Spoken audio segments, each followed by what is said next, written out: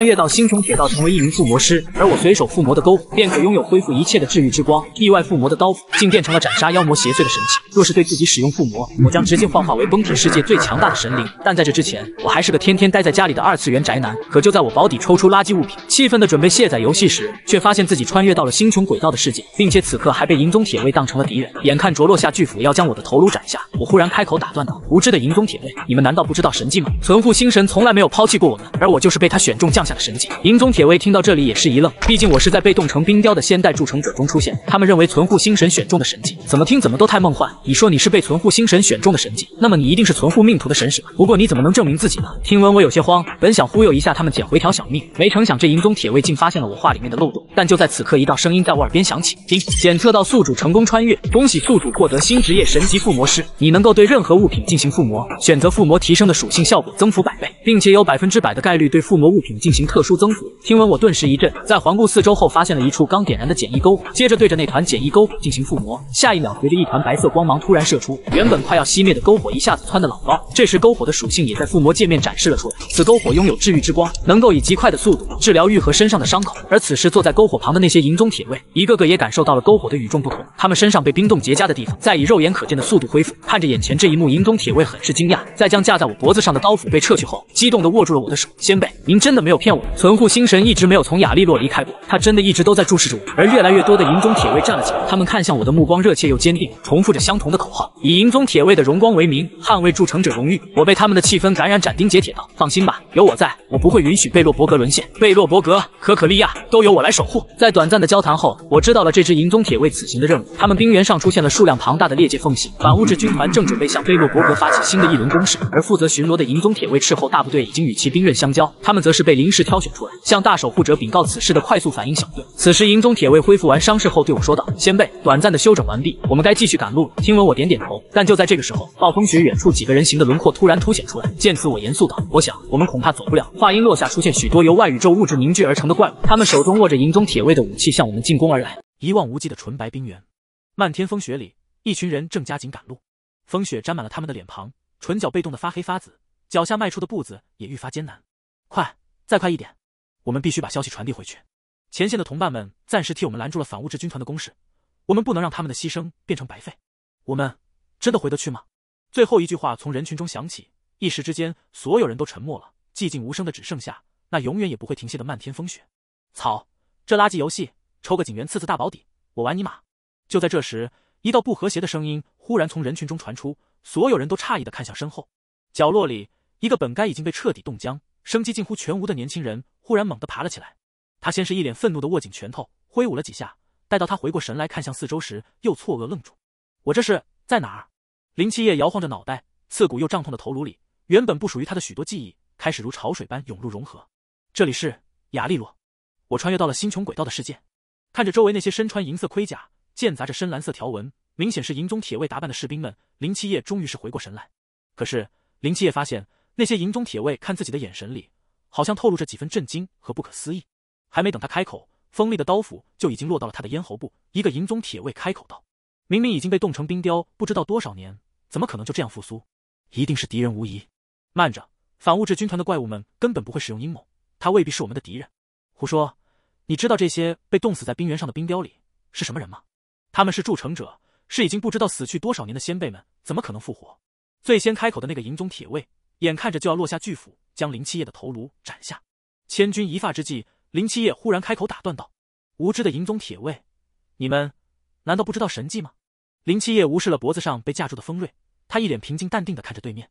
存护星神从来没有抛弃过我们，而我就是被他选中降下的神迹。林七夜的话无比笃定，就跟真的一样，有鼻子有眼的，还真有那么一丢丢严丝合缝的逻辑在。原本对林七夜喊打喊杀的银宗铁卫，听到这里也是一愣，有些不知道如何是好了。被冻成冰雕的先代铸成者复活，存护星神选中的神迹，怎么听怎么都太梦幻。你说你是被存护星神选中的神迹，那么你一定是存护命途的神使吧？证明自己最好的办法，就是向我们展现一下存护命途的力量。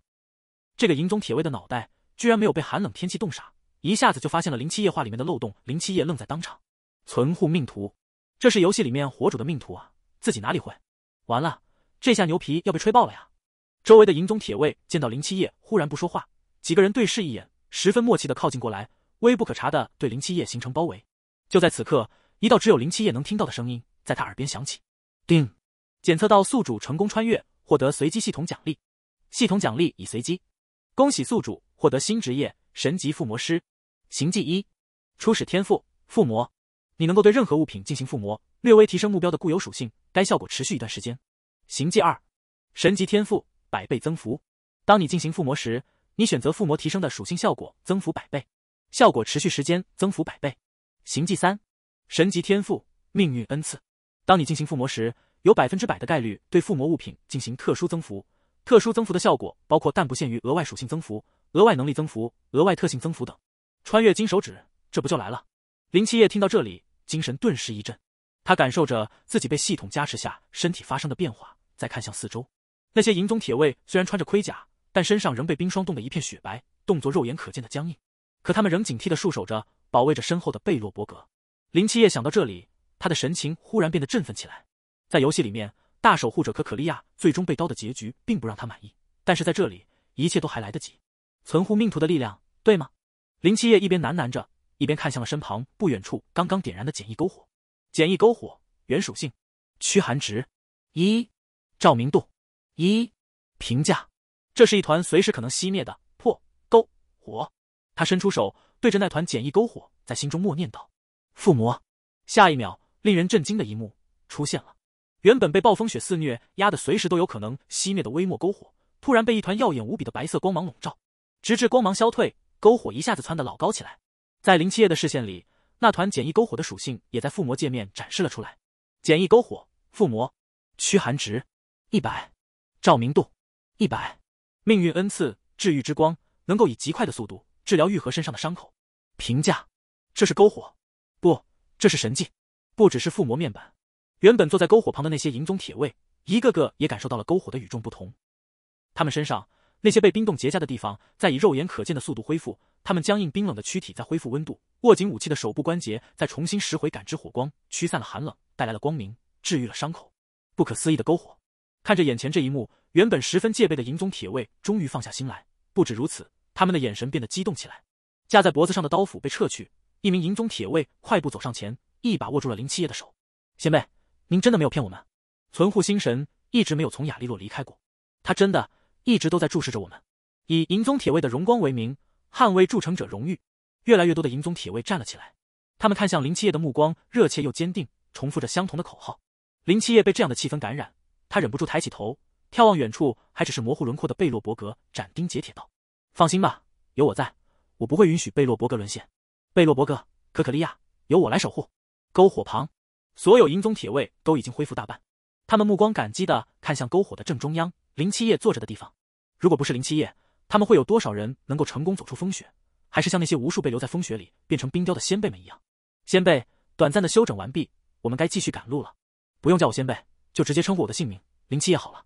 林七夜一边摆了摆手，一边听言站起身来。从刚才短暂的交谈中，他知道了这支银宗铁卫此行的任务。冰原上出现了数量庞大的裂界缝隙。反物质军团正在完成集结，准备向贝洛伯格发起新的一轮攻势。负责巡逻的银宗铁卫斥候大部队已经与反物质军团兵刃相交。他们是被临时挑选出来，快速返回贝洛伯格，向大守护者禀告此事的快速反应小队。只是因为极端严寒天气的缘故，撤离的路走得十分艰难。眼看就要被冻死在这风雪中的时候，林七夜出现了。既然如此的话，那么我们事不宜迟，现在即刻动身。林七夜作为穿越者，他当然知道反物质军团。以他们现在这支银宗铁卫小队的实力，根本毫无还手之力。其他银宗铁卫闻言，也已经各自离开篝火，准备动身。就在这个时候，远处永远也不会停止的暴风雪中，几个人形的轮廓突然凸显出来。我想，我们恐怕走不了了。林七夜的语气一沉，他看向风雪中走出的这几道人影，他们并不是任何一个熟悉的银宗铁卫，而是一个个红色或蓝色由外宇宙物质凝聚而成的怪物。他们手中握着原本属于银宗铁卫的武器，一步一步从风雪中走出来。靠近了篝火，是篝火，篝火的光亮吸引了他们的注意。这些裂界怪物，他们出现在这里，是不是也就意味着前线失守了？队长，我们的后方也有裂界怪物。队长，左边也有。队长，右边也有。周围一个个银宗铁卫惊骇的看向四周，原来在不知不觉间，他们已经被这些裂界怪物团团包围。被称作队长的银宗铁卫，也就是之前最先对林七夜动手的那一位，他的目光却越过人群，投向了一直没有开口说话的林七夜。林七夜先辈，您作为初代铸成者，又是存护星神的星使，比我更有资格率领银宗铁卫，请您下达指令。林七夜没有推诿，看着周围那些步步紧逼过来的猎界怪物，他当仁不让站出来，下达了最新的指令。所有银宗铁卫听令，你们当中跑得最快的两个人是谁？随着林七夜话音刚落，两个年轻的银宗铁卫站出来，你们两个继续向贝洛伯格撤离，用最快的速度向贝洛伯格汇报前线战况，并请求支援。是，其余银宗铁卫随我一起迎敌。随着林七夜的指令下达，所有银宗铁卫开始做出反应。被选择出来的那两个银宗铁卫，在猎界怪物还没有形成包围以前，向后方快速撤去。看着他们渐渐被风雪重新吞没的背影。一旁的银宗铁卫队长犹豫过后，忍不住开口道：“这先辈，您要不也跟他们一起？”胡说！林七夜毫不犹豫的打断了他想要说的话。在古老的年代，银宗铁卫只有一种退休的方式，那就是死亡。我不可能退。我立下的誓言告诉我，贝洛伯格必将在暴风雪中毅然不可动摇，同他的子民一起走向最终的胜利。银宗铁卫出击！银宗铁卫出击！出击！所有银宗铁卫被林七夜的语言感染，他们发自内心的怒吼出声来。残破但坚韧的盔甲披在身上，他们迎着风雪，也迎向了那些猎界怪物。杀！冲出去的银宗铁卫身后，林七夜没有动作。他虽然是穿越者，但他没有战斗能力。相比较于战斗，他有着更重要的事情要做。在林七夜的眼中，一个个不同的物品属性面板正密密麻麻罗列在他眼前。轻微破损的银宗铁卫护甲，防御值五十六。评价：由贝洛伯格精心打造的护甲，能够简单抵御刀刃的攻击。严重破损的银宗铁卫护腿。防御值十八，评价破烂不堪的护腿，他已经很难再帮助抵御外界攻击。略有磨损的刀斧，攻击力。七十四，评价。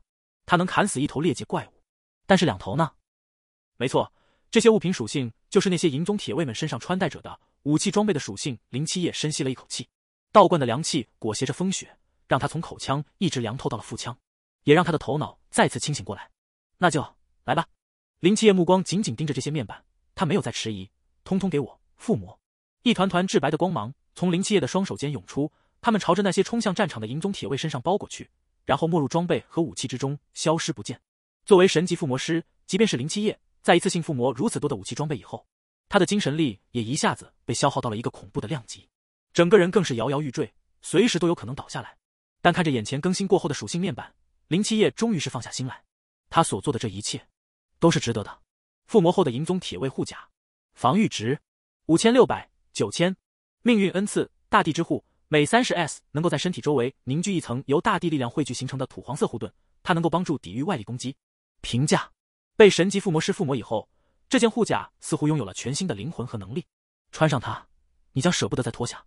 附魔后的银宗铁卫护腿，防御值一千八百六千，命运恩赐疾风行者，风赐予了全新的力量。额外提升穿戴者一百的行动速度。评价：这是画符朽为神奇的附魔杰作，如此大师的作品却出现在一个普普通通的护腿上，真是让人惋惜。不过去追逐风吧，少年，不要回头。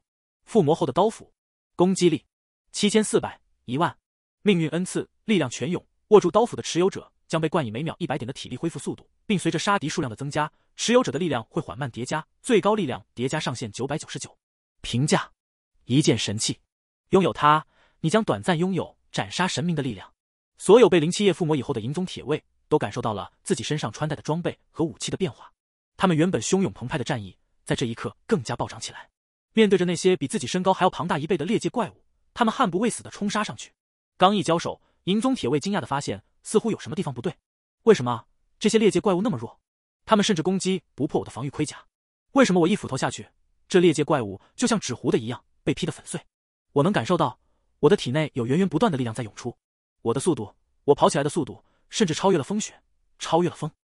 随着一声声银宗铁卫的惊呼声响起，所有人都默契的在脑中浮现出一个人的名字：林七夜存护星神选中的星使，复苏后来拯救整个雅利洛的命途之人。他真的做到了。在林七夜的附魔下，每一个银宗铁卫都被打造成了一个不折不扣的战神。他们在战场中不断厮杀着，猎界怪物的尸体遍地都是。放眼望去，茫茫多的猎界怪物。还在朝着这里涌来，他们仿佛无穷无尽一样。就算是战神，也终有力竭的一天。这些银宗铁卫不知道自己还能坚持多久，他们只知道要杀到眼前再也看不到一个敌人为止。在这之前，他们挥舞刀斧的手就不能停止。一个、两个、三个、十个、二十个、三十个、一百个、一千个、一万个，整个苍茫冰原上，如今已经变成了一片疮痍的修罗场。本来雪白的冰原被更离出了无数裂痕，血液在这些裂痕中流淌，浸染成了一片鲜红。数不清裂界怪物的尸体中，只剩下十几个银宗铁卫还在战斗，他们的意识已经麻木，只剩下战斗的本能还在继续。林七夜即便给武器和盔甲附了魔，穿戴盔甲武器的人依旧只是普通人而已。他们已经坚持的够久了，可是为什么援军还没有到？如果如果没有援军的话，那该怎么办？林七夜看着这最后十几个银宗铁卫，原本一支三十人的队伍，现在只剩下一半不到。更多的短暂相识的同伴，已经倒在了白皑皑的雪原里，被深埋在了这里。即便是防御值高达上千上万的装备，一点一点的磨损下来，也破碎成了最稀碎的残渣。裂界怪物的数量却仿佛没有尽头和极限一样，让人绝望。林七夜下意识想要退走，他的脑海中不知为何浮现出了与大守护者可可利亚在造物引擎前战斗的画面。他的记忆里面，无数的铸成者先辈们为了守护雅利洛，付出了自己的全部。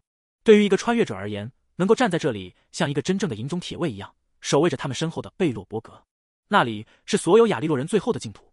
深渊终将侵蚀一切，包括贝洛伯格，但绝对不会是今天。林七夜的目光落在了自己的双手上，就是这双手，却拥有着强大的穿越金手指，神级附魔师。附魔的对象可是是世间万物，那是不是也意味着自己同样可以被附魔？如果附魔自己，能不能挡下裂界怪物？这个念头在林七夜脑中一经滋生，就再难消除。他下意识将手轻轻按在了自己的身上，一团淡淡的白色光芒正在他的手掌间慢慢绽放。与此同时，一道系统提示音在林七夜耳边蓦地响起：“警告，警告！”检测到宿主即将对活体进行附魔，活体附魔作为附魔师中最禁忌的施展方式，它将存在难以估量的超高风险，请宿主千万斟酌是否继续进行活体附魔。请宿主千万斟酌是否继续进行活体附魔。系统的警告声在林七夜耳边不断回响。活体附魔会带来不可预知的风险，但是在林七夜的眼前，又一个银宗铁卫倒下了。密密麻麻的裂界怪物还在朝着这里涌来，在他的面前不远处，一个裂界怪物咆哮着张开巨口。透明的唾液溅落在了林七夜的脸上，他向林七夜扑过来，是另一个银宗铁卫飞扑，将他扑开。这个银宗铁卫自己也被抱着一起滚入了茫茫多的裂界怪物巢中，彻底消失不见。银宗铁卫的队长此时正握着两把刀斧，舞动的刀斧在他身前仿佛形成两道夺命嗜杀的绞肉机，收割着无数裂界怪物的生命。他头上戴着的铸铁面银已经完全裂开，露出里面一张中年沧桑的男子模样。他下意识回头瞥见了同样看向自己的林七夜。银宗铁卫队长惨然一笑，他张了张口，沙哑的声音从他的口中发出：“神使大人，快走！您已经为我们做的够多了，贝洛伯格需要您，快走，快走啊！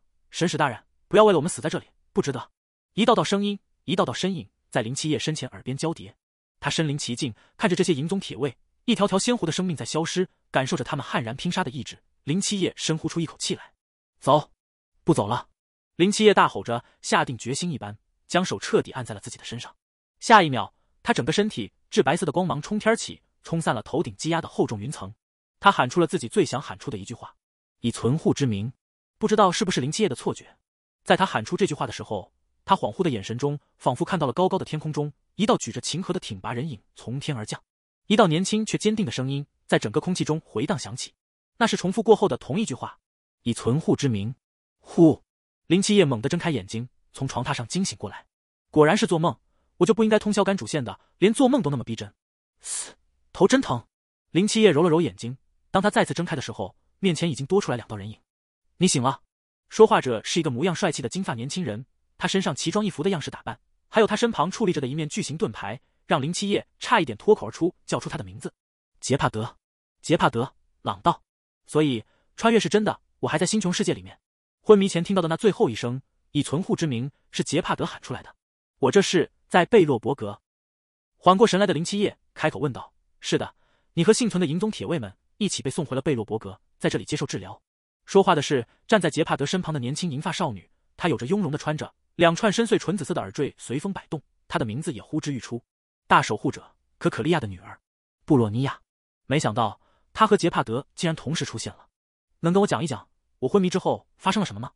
林七夜一边揉了揉脑袋，一边从床榻上坐起来，略微有些虚弱的问：“身边站着两个 SSR，让他有些感受到压力。”杰帕德点点头，开始讲述起来：“我们在前线阵地的时候，接受到了两名银宗铁卫斥候返回的报告和救援。根据他们指出的大致方位，全部前线阵地的铁卫出动前往增援。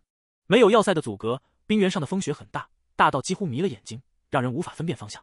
即使是最有经验的斥候，也很难找到白崖一片的冰原里面确切的救援方位。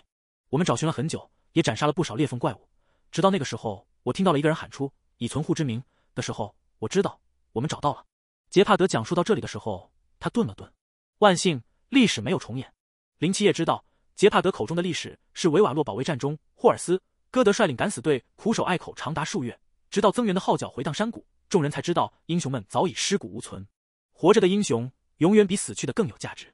说到这里，杰帕德忍不住肃穆起身，对着坐在床上的林七夜致以了一个最标准的银宗铁卫军礼：“以朗道之名，历经冰雪，铸成此志，永不终结。”作为被冠以“铸成者”之名的守护者，杰帕德是朗道一家现在的领袖，他永远也不会忘记先辈们那些真正的铸成者在为贝洛伯格做出的贡献。杰帕德怎么也不会想到，有朝一日能够和先辈一起真正的面对面。这是活生生的先辈铸成者，是存护之神派下的使徒，无论哪个身份都值得杰帕德尊敬。大守护者有些正要需要处理，暂时还无法与你见面，所以我们将你安排在了贝洛伯格最大的哥德宾馆，先休息两日。前线的银宗铁卫们，他们怎么样了？林七夜摆了摆手，他问出了自己最关心的问题。杰帕德听到林七夜的问题，短暂的沉默了。是站在一旁的布洛尼亚开口替他回答的。银宗铁卫的伤亡很大，这次的裂界缝隙非常多，许多裂界怪物都穿越过来，反物质军团也混杂其中，蠢蠢欲动。整个前线阵营里面，能够穿戴上盔甲、握紧武器的银宗铁卫。都已经倾巢出动了，他们将誓死守卫这座贝洛伯格。只是这样吗？林七夜听到这里皱了皱眉。造物引擎呢？那些古代机器呢？他们在哪里？银宗铁卫虽然悍不畏死，但他们终究是一条条鲜活的生命。即便是贝洛伯格，也没有使他们死得如此草率的权利。古代机器和造物引擎足以压制这一场裂界怪物潮。为什么你们不去使用它们？林七夜的话让布洛尼亚和杰帕德的头都微微低了下来。他们是不想用古代机器和造物引擎吗？不是的，是他们根本就无法使用。先辈，古代机器在亚利洛和反物质军团千百年的战斗中已经损坏殆尽。如今我们对古代机器的研究已经陷入一个无法突破的瓶颈，新的古代机器无法被复刻制造出来。至于造物引擎，残破又缺乏核心动能，他们早就无法投入战斗了。林七夜作为游戏党，他是真的不知道这些历史吗？不，他都知道。他说出这些话的目的，实际上只是为了再次巩固自己初代铸成者。的人设，同时也为自己接下去想要说的话提供一个契机。把造物引擎和古代机器的残骸收集在哪里？把地点告诉我，我要去修复它们。不能够再让银宗铁卫这样毫无意义的牺牲下去了。作为神级附魔师，林七夜不敢说百分百，但也有一定的把握，能够将原本废成渣的古代机器和造物引擎恢复，甚至是在原有基础上百倍的提升。有了古代机器和造物引擎，他也就有了真正能够在这个星球安身立命的资本。这是林七夜的目的。听到林七夜的话。杰帕德和布洛尼亚相视一眼，这恐怕要等你与大守护者见过面以后，再听从大守护者的安排了。贝洛伯格的大守护者第三代卡卡利亚，林七夜脑海中浮现出一个和布洛尼亚差不多漂亮的大美人模样。可惜的是，这样一个大美女，却因为想要拯救贝洛伯格而相信星河的蛊惑，最终吸收了星河能量，成为了怪物。不过，自己既然来了，是否代表着这一结局将可能会被改写？抱着这样的心态，林七夜点了点头，在告别杰帕德和布洛尼亚之后。他在歌德大酒店丝滑松软的床上好好睡了一觉。第二天，林七夜是被一阵喧闹声吵醒的。让开，这是大守护者的命令。不行，杰帕德长官让我们在此负责保护先辈，不能放你们进去。放肆！你们连大守护者的命令都敢违背吗？这，放他们进来吧。林七夜推开门，看到了门口面露难色的银宗铁卫，还有和银宗铁卫差不多穿着的另一拨人。这些人穿的是旧制军服，而不是厚重的铠甲。他们分属内务部，是大守护者的亲卫军队。听到林七夜开口，那些为难的银宗铁卫这才向左右两侧让开，实在是难为他们了。一边是大守护者的亲卫，一边是他们边防银宗铁卫口口相传的英雄铸成者先辈，得罪哪一边都不是他们想要看到的。见道路被让开，大守护者的亲卫军队走过来，语气淡漠的开口道：“林七夜，对吗？没错，是我。根据大守护者的命令，你需要跟我们走一趟。走一趟？去哪里？哪儿那么多废话？你只要跟着我们就可以了。如果你敢违背的话，我们就要……”将你就地拿下，冷酷严肃的话让林七夜心中微微一寒。熟悉的画面差点让他有种还在玩游戏过主线的错觉。看来这歌德大酒店实在是一个风水不太行的地方。主角团到这里来的第二天就被通缉，自己作为贝洛伯格的英雄，竟然也被这样对待。不过林七夜没有反抗，他想要看看大守护者卡卡利亚究竟想要干什么。于是没有犹豫，他跟在这些亲卫军后边离开了歌德大酒店。一路上。林七夜也终于看到了贝洛伯格的真实面貌。这颗冰冷的雅利洛星球上，唯一还算温暖的地方。作为仅存的人类城市，贝洛伯格还有许多更崇高的称呼：人类抵御寒潮最后的堡垒，普拉米亚的庇佑之地。近千年前，随着寒潮的来袭，这座星球上的人类文明也一并被冻结在了那个年代。席卷的狂风与暴雪以纯白抹平大地，唯有某位保护者以其力量庇佑着贝洛伯格这座城市。此处虽受风雪侵凌，人类仍得以幸存。穿过恢宏的广场雕塑、永东名牌，林七夜来到了大守护者所在的克里珀堡。在克里珀堡的更深处，大守护者可可利亚已经在这里等候多时。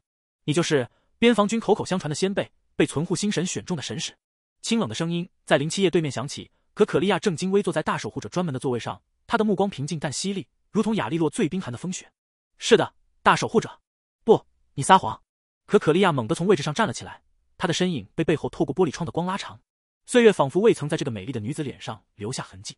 比布洛尼亚不逞多让的绝美容颜。多了一份上位者的霸气和庄木，别有一番韵味。但是，他接下去说的话却让林七夜无法再继续欣赏她的美貌。可可利亚冷哼一声，用冰冷的语气开口道：“卫兵，把他给我抓下去，关入地牢去，严加审讯，一定要问出他的来历。”大守护者，为何你如此笃定我在说谎？笃定？存护星神早在千百年前就已经抛弃了雅利洛，抛弃了我们。你居然说是存护星神的神使？还有这更让人觉得好笑的笑话吗？作为大守护者。可可利亚比其他普通人知道的更多，也看得更多。对付他，再用之前的那套说辞，看来是行不通了。不过，对于这样的情况，林七夜也早有准备。作为穿越者，不要忘了，林七夜对于可可利亚和贝洛伯格的剧情可以算是滚瓜烂熟。他当然也知道，眼前这个贵妇韵味十足的三十多岁大守护者，在主线中和星河的那些交易，不，确切说是历代可可利亚、历代大守护者与星河的交易。哦，是吗？林七夜面对可可利亚的咄咄紧逼，他不仅没有慌乱。反而愈发镇定自若的反问道：“究竟是存护星神抛弃了你们，还是你们抛弃了原本的信仰？你在说些什么？”可可利亚极为罕见的暴怒起来，他猛地一拍桌子就要阻止林七夜，但还是被林七夜语速极快的说出了接下来的话：“你们才是背叛者，你们放弃了自己原本的信仰，而选择了星河，选择了与恶魔交易，用千万年的风雪冰冻星球，还接受了星河赐予你们的能量。”林七夜的话像是压垮骆驼的最后一根稻草，原本还盛怒的可可利亚。突然像被抽空了所有气力一样，颓然坐在了位置上。他眼神空洞的看着林七夜，讷讷道：“你什么都知道，真的是存护星使？存护星神真的没有放弃雅利洛的子民吗？”林七夜眼尖看到了在他桌案上放着的有关裂界怪物潮巨量入侵的报告，他的灵光一现，想清楚了自己现在身处的这个时间节点。所以，裂界怪物潮刚入侵贝洛伯格，外面的边防树土还没有被完全污染，可可利亚完全投身星河的决定还没有实施，一切还来得及。想到这里，林七夜不再迟疑，他开口说出了一个让可可利亚无法拒绝的条件：“我存护星矢前铸成者，可以修复和强化古代机器和造物引擎，来终结这场裂界怪物潮。”本来已经对这些事情失去信心的人们，在听到林七夜的这话之后，又重新燃起了活下去的希望。毕竟在千钧一发之前，就是林七夜让他们活了下来。现如今，他们除了相信林七夜，别无他法。你确定你真的能够做到吗？可可利亚在问这话的时候，声音其实是带着一些颤抖的。他不知道自己现如今该不该相信林七夜。要是选择相信他的话，那自己之前所做的一切都得推翻重来。可是看着他那坚定的神色，可可利亚也带着一丝疑惑。我确定我真的能够做到，只要你愿意给我这次机会。我想之前的那些打斗，你应该都有所耳闻了。要是你愿意相信我，我可以给你带来意想不到的收获。现在的可可利亚还是有些纠结的。你可以给我一点时间，让我和其他的子民们做出一个决策吗？林七夜听到可可利亚的这话之后，就知道自己的计划十有八九都会成功。只不过现在需要给他们一点时间罢了。可以，不过你们最多只有一天的商量时间，因为过了一天之后会发生什么事情，我也不能确定。你们还是尽早做出决定。说完这话之后，林七夜便准备闭眼再休息一下，因为之前在战斗中自己的身体损耗实在是太严重了，要是不赶紧好好休养一下的话，后面可是十分危险的。叮咚，恭喜宿主第四行技成功觉醒，第四行技神级天赋重塑。就在林七夜还准备将自己第四行技的功能看下去的时候。可可利亚突然推门而入，我的子民们一致决定给你一次机会，不过也就只有这一次机会。要是你不能让我们满意的话，我们一定会杀掉你。林七夜听到这话之后，也是十分明白，毕竟自己现如今说的话，就相当于给山穷水尽的人提供了绝处逢生的机遇。要是自己不能达到他们预期的效果，他们估计会撕碎自己的。我向你保证，绝对不会让你们失望。说这话的时候，林七夜十分坚定的看着可可利亚，被这种坚定的眼神看着的可可利亚，有些不太好意思的转过了头。你并不需要和我保证。只要让我的子民们可以活下去，我们将会尊崇你为我们的主。可以，不过你得先带我去一个地方。林七夜在答应下来之后，十分轻松的将自己想去的那个地方说了出来。而可可利亚有些不可置信：“你确定你要去那种地方？可不能戏弄我，那全部是被我们废弃掉的东西。要是你真的能把它给改造好的话，你都不用向我们证明你自己的实力了。”我确定。看着林七夜如此的坚定，可可利亚便带了两个手下和林七夜一起去到了存放废弃的古代机器和造物引擎处的地方。在看到里面摆放的那些东西之后，林七夜明白了可可利亚刚才为什么那样看自己，因为这些东西在现在这些人的眼中看起来可是没有任何办法去修复的。怪不得之前那些人有十分趁手的武器，十分趁手的他们压根就修理不出来。可以给我一个人独处的时间吗？修理这些东西我需要聚精会神，你们在这儿，我压根就不能集中我的注意力。跟可可利亚一起出来的那两个手下是和林七夜一起上过战场的营中守卫，他们已经见识过了林七夜的能力，自然是不会怀疑他的。可可利亚，我们还是在外面等他吧。看着自己的手下都已经这样说了，可可利亚便同他们两个人一起去到了外面。在所有人都离去之后，林七夜这才再次打开了自己的系统查看，起了自己觉醒的那第四行迹。第四行迹，神级天赋重塑。神级天赋重塑，当对事物进行附魔的时候，能够选择进行一次重塑。重塑过后的事物将恢复自己原有的属性，并可以被二次附魔。在看清楚自己第四行迹的功能之后，林七夜可是高兴的不行。本来还以为自己修复这些东西需要一些时间，现如今看来，我就是轻而易举的事情罢了。在第四行迹的帮助之下，林七夜很快就将那些东西全部修理好了。不过半刻钟的时间，林七夜十分轻松走到了可可利亚的面前。我已经将里面的东西修复好了，你可以进去看一看。听到这话的可可利亚有些不可置信的瞪大了自己的双眼。那些东西自己和手下之前可是研究过不少次呢，都没有任何的成果。他不过就是进去了半刻钟，居然敢这般大放厥词。那两个银宗守卫在旁边也是不敢相信。大守护者之前为了修理这些东西，花了不花费了不少的心思，都没有任何的办法。虽然说他们崇拜林七夜，可是并没有到一种十分盲目的地步。英雄，我们大守护者最讨厌说谎的人了。你可以修不好，但是千万不能欺骗他。要是欺骗他的话，后果可是不堪设想。看着这些人不愿意相信自己的模样。林七夜也有了自己的脾气，要是你们进去之后发现有什么问题的话，可以把我的脑袋拧下来当球踢。可是那些东西要没有问题的话，我觉得从今往后你们应该尊重我一点。林七夜都这样说了，那三个人自然是半信半疑的进入到了里面。在看清楚那些东西被修理后的模样之后，几个人都十分的震惊。唯一一个对那些东西操作十分熟练的可可利亚，自然是上去开始调试了起来。在经过一番使用之后，可可利亚已经改变了自己对林七夜的看法。我的主。亚利洛的子民们都要依靠你了，你是上天派来拯救我们的，你就是我们的神。不过就是在自己力所能及的范围内，尽了自己最大的努力罢了。林七夜连忙退了好几步。各位大可不必如此，我不过是尽我自己最大的努力，做了一些力所能及的事情罢了。你们这样的话，我是真的承受不起。尤其是已经对着自己半跪的可可利亚，让林七夜感到有些心慌意乱了起来。自己不过是靠着穿越得到了这么一点点益处，结果这些人就把自己崇拜为神，这种感觉让林七夜心中十分的愧疚。林七夜。今日你若是不愿意成为我们的神，那就证明你不愿意留在这儿。我们现如今已经成节节败退之势了，唯有你才能拯救我们。您难道不愿意帮助我们吗？看着可可利亚的模样，林七夜怎么也没想到，这人现如今心思居然这么深。将这样大义凛然的话说出来之后，自己今天要是不答应的话，倒显得自己有些太过分了。你们可以叫我神，可是以后见我千万不要行礼，不然我怕折寿。要是你们能够答应我这些要求的话，我就永远的留在这里帮助你们。本来还在地上半跪着的可可利亚。听到这话之后，赶紧站了起来。现如今，林七夜是唯一能给这个地方带来光明的人。要是因为这些细节而让他永远的离开这儿，那自己会愧疚死的。好了，其实你们不用对我这么恭敬的，我们都不过是普通人罢了。只不过我的能力比较突出，大家就把我当做平常人看就行了。要是你们继续这样下去的话，我是真的很不自在。是我的神，我们知道了。看着这群油盐不进的人，林七夜一时间都不知道该说什么了。行了，行了，你们现在赶紧把我刚才修好的那些东西带走吧。要是以后有什么新发现的话，还可以随时来找我，说不定我都能够把他们给修理好呢。可可利亚听到这话之后，连忙把自己怀中珍藏了许久的东西拿了出来。我的神，这是我珍藏已久的东西，您看看，您能帮我修复吗？因为自己天赋的觉醒，对于这方面，林七夜还是十分有自信的。你放心吧，给我一小段时间，我肯定让你满意。再把那个东西仔仔细细的观察了一下，通过那东西的气息，林七夜判断出了他原先的模样。就在可可利亚认为这件事情将要花费许多时间的时候，林七夜突然把那个东西塞进了他的手中，已经好了，你看看和之前的模样到底差多少？要是你觉得哪里还不满意的话，我给你再改一改，努力让它恢复成最初的模样。可可利亚打开自己手掌的时候，看见那个东西的模样，眼睛瞪得十分的圆，那个东西简直和损坏之前一模一样。周围的那几个银宗铁卫军压根就不懂得各件东西对可可利亚的重要性，所以在看到可可利亚的那副神情之后，有些不解。那守护者，我们可以带着这些东西回去了吗？要是再回去晚的话，我觉得基地的人会担心。就是这句话才将可可利亚出神之中拉了回来。对对对，刚才是我一时间失了神，咱们现在赶紧回去吧。可可利亚，你可以告诉一下我那个东西对你有多么重要吗？刚才你那出神的模样，着实让我太好奇了。林七夜趁着周围没有任何人注意自己的时候。偷偷摸摸的走到了可可利亚的身边，问出了这句话。可可利亚看到林七夜那副疑惑的神情之后，思索了一会儿，这才开口：“那个是前一任守护者留给我的。之前我在对抗中不小心损伤了那个东西，从我记事起，人们便说那个东西是大守护者代代相传的东西，弄坏了那个东西，我觉得太愧疚了。今天好在有你才把那个东西修复好了。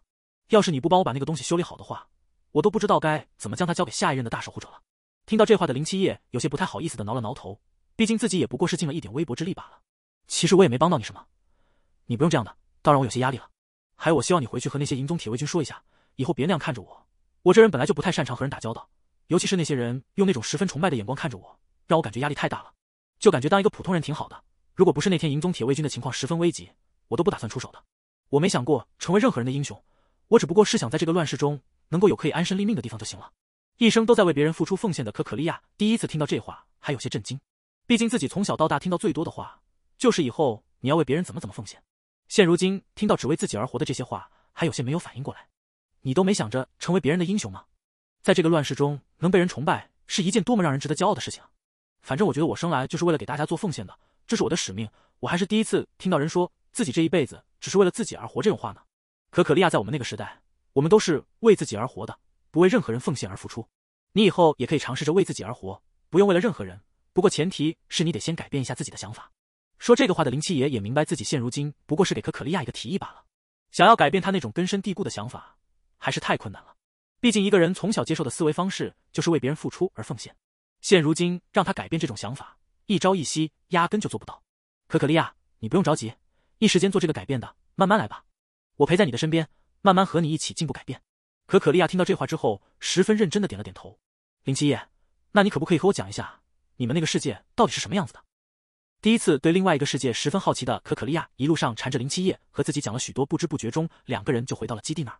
基地里面的其他人看到那些许久未使用的庞然大物，都惊掉了自己都下巴。毕竟那些东西当初都已经坏的用不了了，结果这林七夜不过就是和可可利亚出去了一趟，居然能将这些东西给全部开了回来。可可利亚，这是怎么回事？这些已经废弃的古代机器，怎么还能被你们给拉回来？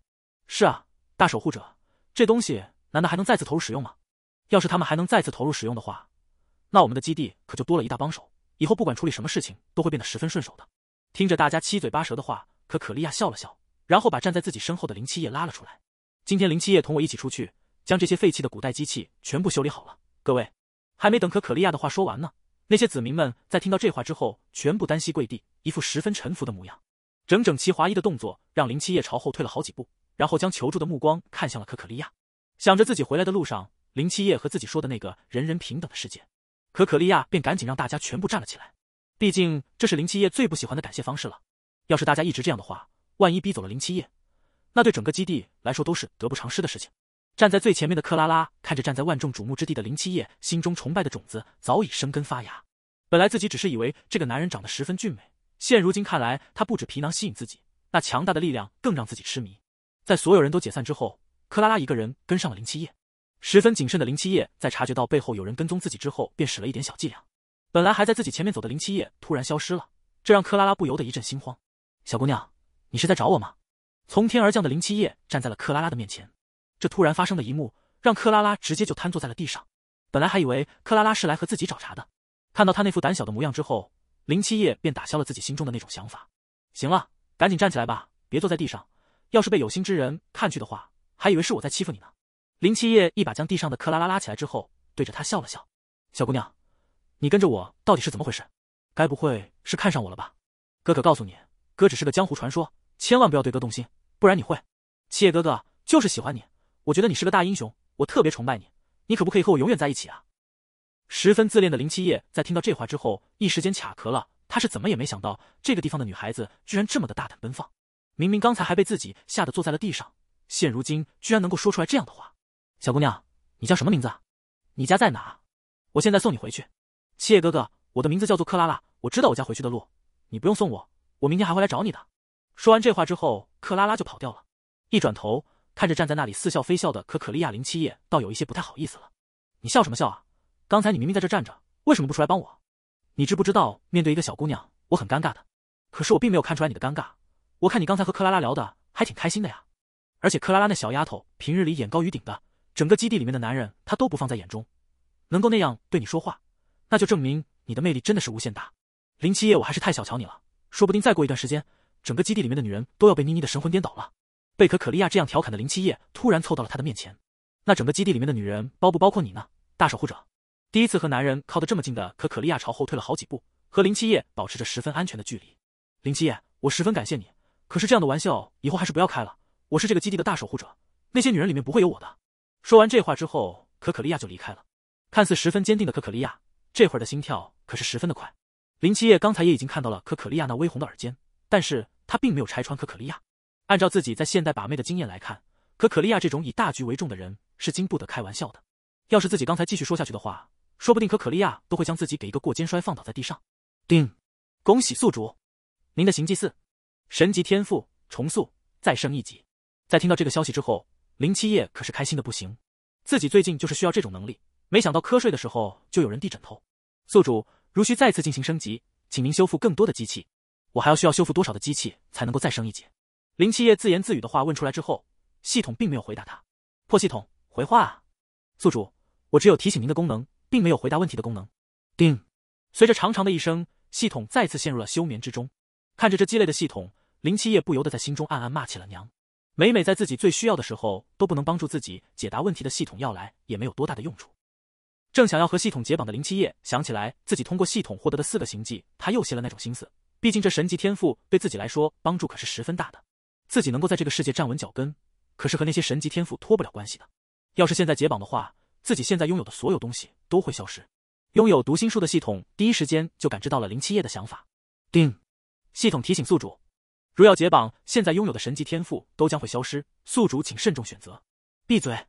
恼羞成怒的林七夜骂了一声系统之后，一个人气呼呼的坐在了旁边。系统这个时候也十分识时务的闭了嘴。要是真的林七夜萌生出了想要解绑的心思。自己的下一个宿主还不知道什么时候来呢。如果没有任何作为的再次被解绑，估计自己都要被其他的系统嘲笑死了。回到了可可利亚为自己准备好的房间，林七夜一夜好眠。第二天刚出门之后，看着为自己准备好了早餐的克拉拉，林七夜觉得这个世界突然玄幻了起来。七夜哥哥，我不知道你的喜好，所以我将所有的早餐全部做了一遍，你可以挑选出来你自己喜欢的，我每天都给你送。第一次有女人对自己这么的热切，万花丛中过的林七夜觉得有些招架不住了。克拉拉。你不用专门给我把这些东西拿过来的，我会自己去为我准备的。七叶哥哥，你刚来人生地不熟的，我帮你准备准备，没什么的，你就放心大胆的吃吧，这些东西绝对没问题的。把东西塞进林七叶的手中之后，克拉拉就赶紧跑掉了。贝可可利亚派来送东西的布洛尼亚看到的手中拿的东西之后，突然觉得自己来的有点多余了。刚才克拉拉那丫头眼中那热切的神情，自己可是看得一清二楚。你是可可利亚派过来的？没来得及走的布洛尼亚被林七叶给叫住了。是的。大守护者让我来给您送点东西，现如今看来您并不需要了。谁说不需要的？我还要让你给我帮忙呢。布洛尼亚听到这话之后，有些一头雾水了。我的神，请问您有什么需要？听到这话的林七夜思索了一下，选择了一个折中的方式。麻烦您带我去克拉拉的家中，我想将这些东西还给他。听到这话的布洛尼亚眼睛瞪得那叫一个大，整个基地里面的男人都想要靠近克拉拉，这林七夜居然想要把东西还给克拉拉，这一点确实让人十分的匪夷所思。不明所以的其他人。看到林七夜居然拿着许多东西朝着克拉拉的家中走去，都有些鄙夷了起来。之前他们还觉得林七夜是个厉害人物，现如今看来也不过如此。才来一天，居然已经开始对克拉拉示好了。果然，不管怎样的男人都会拜倒在克拉拉的石榴裙之下。你们说，这刚来的林七要花几天时间会拿下克拉拉？我估计他拿不下。咱们基地里面那么多优秀的男人都在追求克拉拉，那林七夜会的东西不过是咱们都不太擅长的领域罢了。要是在咱们擅长的领域里面比拼，他还不如我们呢。真不知道那样的男人。站在门口的布洛尼亚听到旁边人对林七夜不屑一顾的话之后，便忍不住反驳了起来：“麻烦你们带点脑子说话好不好？那些东西是克拉拉送给林七夜的，林七夜不想接受，所以才让我带他来克拉拉的家中。林七夜的本意是不想把这件事情闹大的，还希望你们嘴上能有个把门的，不要将这件事情说出去，不然克拉拉的面子都会丢尽的。”刚才还在嘲讽林七夜的那几个男人脸色都十分难看，他们怎么也没想到，整个基地里面对克拉拉趋之若鹜的男人数量那么多，克拉拉居然会主动对一个男人示好。这件事情在基地里面可是闻所未闻的。布洛尼亚这种玩笑开起来一点意思都没有。你，要是你们不愿意相信我的话，可以去问克拉拉，别在这反驳我，没有什么意思的。你们有本事就把克拉拉追到手。说完这话之后，布洛尼亚就离开了。一向都是男人对自己示好，第一次主动示好的克拉拉看到林七夜居然把自己准备了一早上的东西全部给自己拿了回来，一双大眼睛里面蓄满了泪水。林七夜，你是不是特别讨厌我，所以才不愿意接受我送给你的东西？最头疼的就是看到女人哭了。林七夜看到这一幕之后，十分无奈的按了按自己的太阳穴。克拉拉，我并没有讨厌你的意思，只不过你对我的示好我不太好意思接受，毕竟我们认识的时间实在是太短了，我不能无缘无故的接受一个陌生女人对我的愧疚。我希望这一点你可以明白。况且我对你并没有男女之间的喜欢，我希望你不要在我的身上浪费时间。说完这话，林七夜便大跨步的离开了克拉拉的房间。在外面等着看戏的那群男人看到林七夜离开了，都有些失望了起来。他们本来还以为里面能闹出来什么动静呢。现在看来，克拉拉的魅力也不过如此，居然连一个新来的都吸引不到了。本来对男人不是特别热衷的克拉拉，看到林七夜的那背影之后，不知道为什么心中有了一种十分奇怪的想法。布洛尼亚在将基地里面发生的事情全部报告给可可利亚之后，便退了出去，一个人待在房间里面，将外面今天发生的事情全部消化完之后，可可利亚都有些不太相信，光是克拉拉倒追男人这件事情就已经足够让他吃惊了，结果居然还被男人给拒绝了，这就让他更加的震惊了。怪不得林七夜这个男人看起来十分的不平凡。连克拉拉这样的女人都能够拒绝，那就证明他一定是特别厉害的。可可利亚，你在忙吗？我有事情想要和你商量一下。还处于震惊的可可利亚，怎么也没想到林七夜在找完克拉拉之后，居然会来找上自己。你进来吧，我现在不忙，有时间和你商量事情的。听到房间里面的人答应了下来，林七夜这才推开了门走了进去。林七夜在进去看到可可利亚之后，露出了十分尴尬的神情。你有什么问题就和我说，只要我能够帮你解决的，我绝对义不容辞。本来就有些尴尬的林七夜，在听到这话后。一时间都不知道自己到底该不该开口了。毕竟克拉拉这件事情，怎么说都算得上是和女孩子的面子挂钩的事情。自己要是将这件事情挑明了说，会不会影响到克拉拉在整个基地里面的声誉啊？林七夜，虽然咱们两个人相处时间不长，可是我觉得你应该和那种扭扭捏捏的人有区别的。要是你有什么问题的话，你就赶紧说，一直这样下去，不仅耽误你的时间，也耽误我的，你明白吗？贝可可利亚这样推辞之后，林七夜这才开了口，主要还是关于克拉拉的那件事情。我对她并没有男女之间的那种非分之想，只不过我看她。好像有那方面的想法，这件事情你能帮我去劝一劝克拉拉吗？让他不要把时间浪费在我这种人身上了，不值得的。还一直在埋头处理自己的东西的可可利亚，在听到这话之后抬起了头。林七，你是不是觉得克拉拉长得不够漂亮？还是你想要用那种欲擒故纵的手段让克拉拉更喜欢你？林七夜是怎么也没想到自己，不过就是想要让可可利亚帮自己解决掉这个问题，居然被他误解成了这样。我没有那种想法的，我今天来和你说，这就证明我问心无愧。我对克拉拉并没有那种感觉，我觉得不和他说清楚。我心里面有些愧疚，耽误人家女孩子的时间不太好。我在这个基地里面和其他人也不过是点头之交，唯一能够说得上话的人只有你了。你能不能帮我去把这件事情解决掉？看着林七夜那副十分诚恳的模样，可可利亚只能缓缓点下了自己的头。我现在也只是能答应你，去帮你和克拉拉说一声。至于她愿不愿意放弃这件事情，我可管不了。要是最后结果不如你的意，你可千万不能来找我算账。毕竟这件事情我也只不过是给你帮忙罢了，我从中可是没有得到任何益处的。行，只要你能够帮我就好。在把这件事情说完之后，林七夜害怕自己耽误了可可利亚的正事，便从房间里面退出去了。在房间里面的可可利亚盯着林七夜远去的背影，一时间百感交集。他怎么也没想到，整个基地里面的男人都将克拉拉视为梦中情人，这林七夜怎么不为所动呢？难不成他的眼光太高了，看不上像克拉拉那样的人吗？不过这些话可可利亚并没有问出口，毕竟自己一旦问出口的话，那目的性实在是太明确了。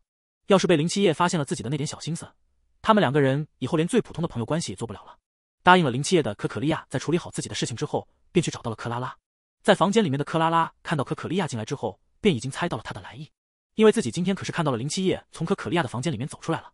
可可利亚，我知道你今天来我的房间里面到底是为了什么，只不过你不用开口劝说我了。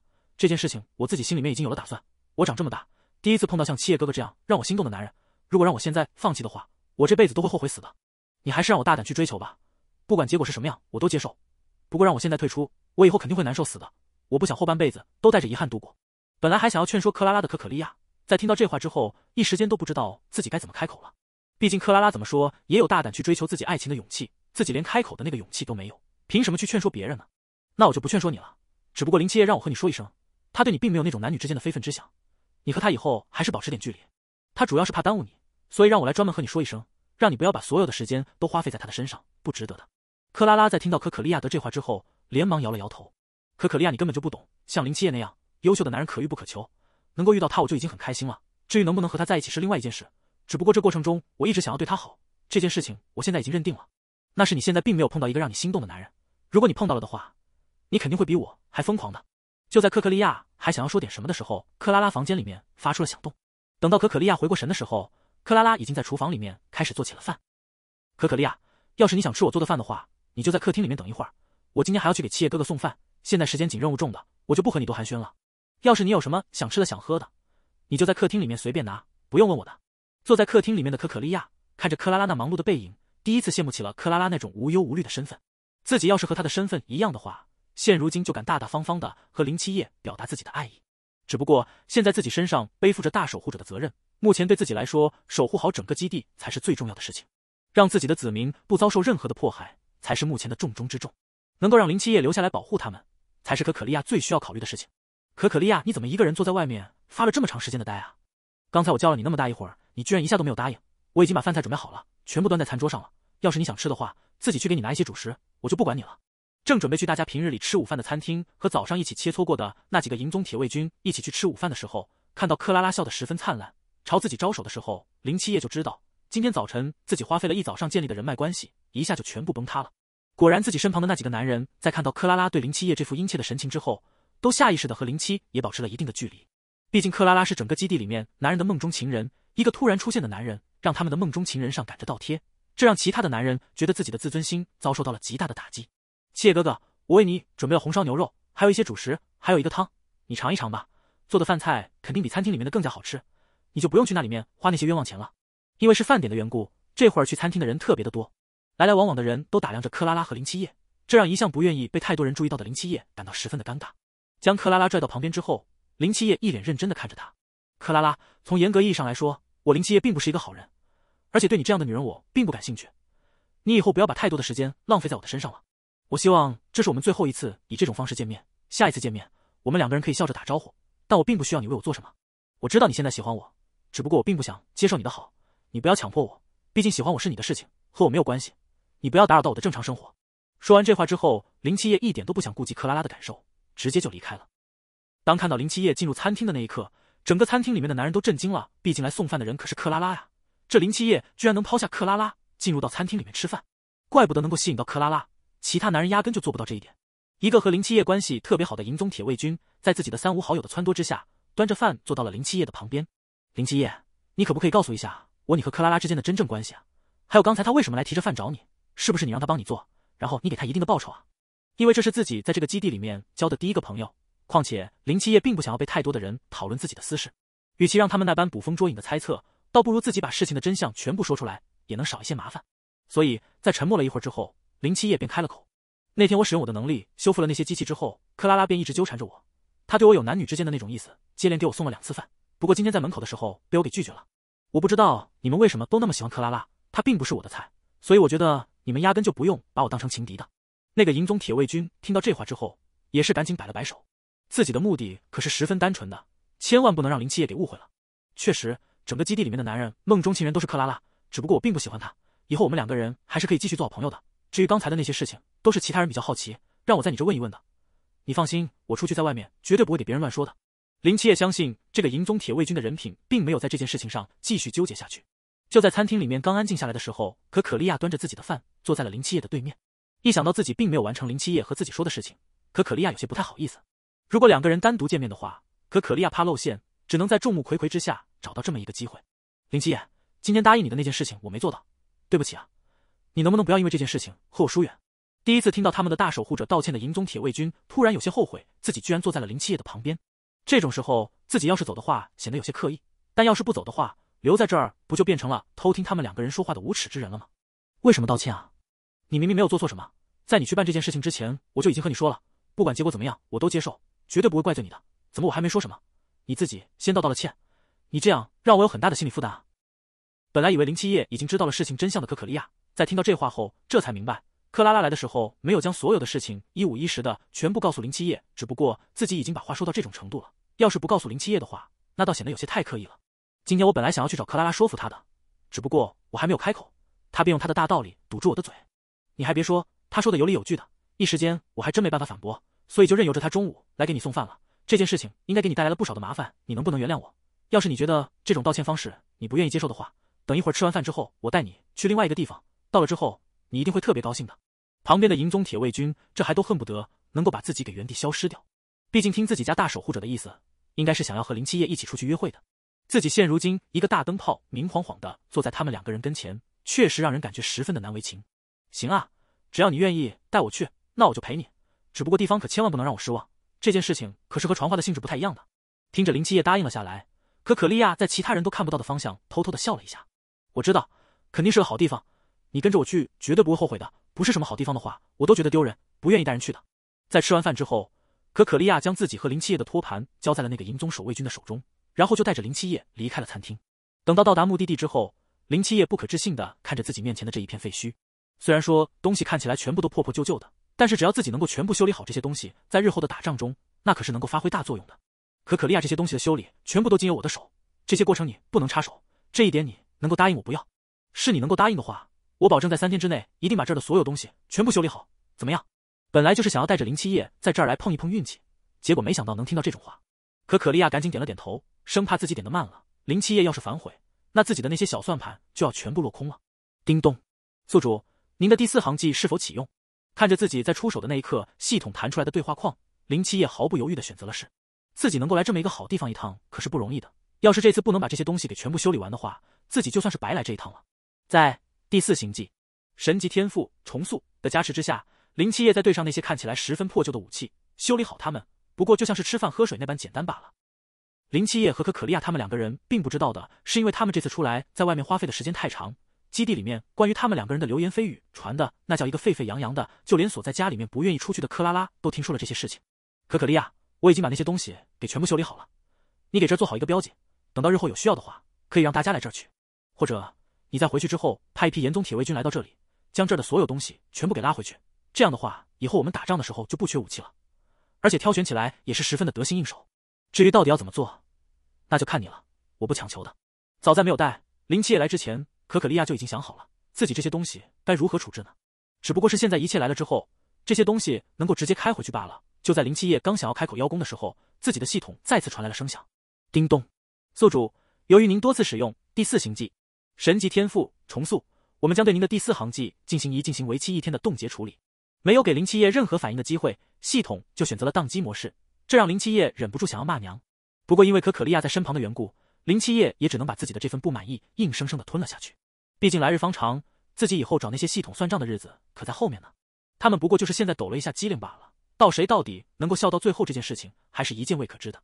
况且现如今只是冻结了一天自己的第四行迹罢了，自己还有前三个是可以使用的。况且自己这两天已经修理了这么多的东西，回去就算一时间修理不出来，什么也可以拿来当做借口了。一想到这儿之后，林七夜突然又觉得自己回家的这件事情看起来也是很不错的。可可利亚，你为什么从记事开始就被选为大守护者了？这件事情还有什么特别的吗？你从小到大都要接受哪些训练？之前你的朋友多吗？因为之前自己和林七夜不太相熟的缘故，可可利亚曾一度以为林七夜是一个沉默寡言的人。直到和他在这待了三天之后，可可利亚第一次体会到了话痨的可怕之处。他不仅在速度上略快于自己，而且在提问问题的刁钻程度和数量之上，也是远远大于自己的。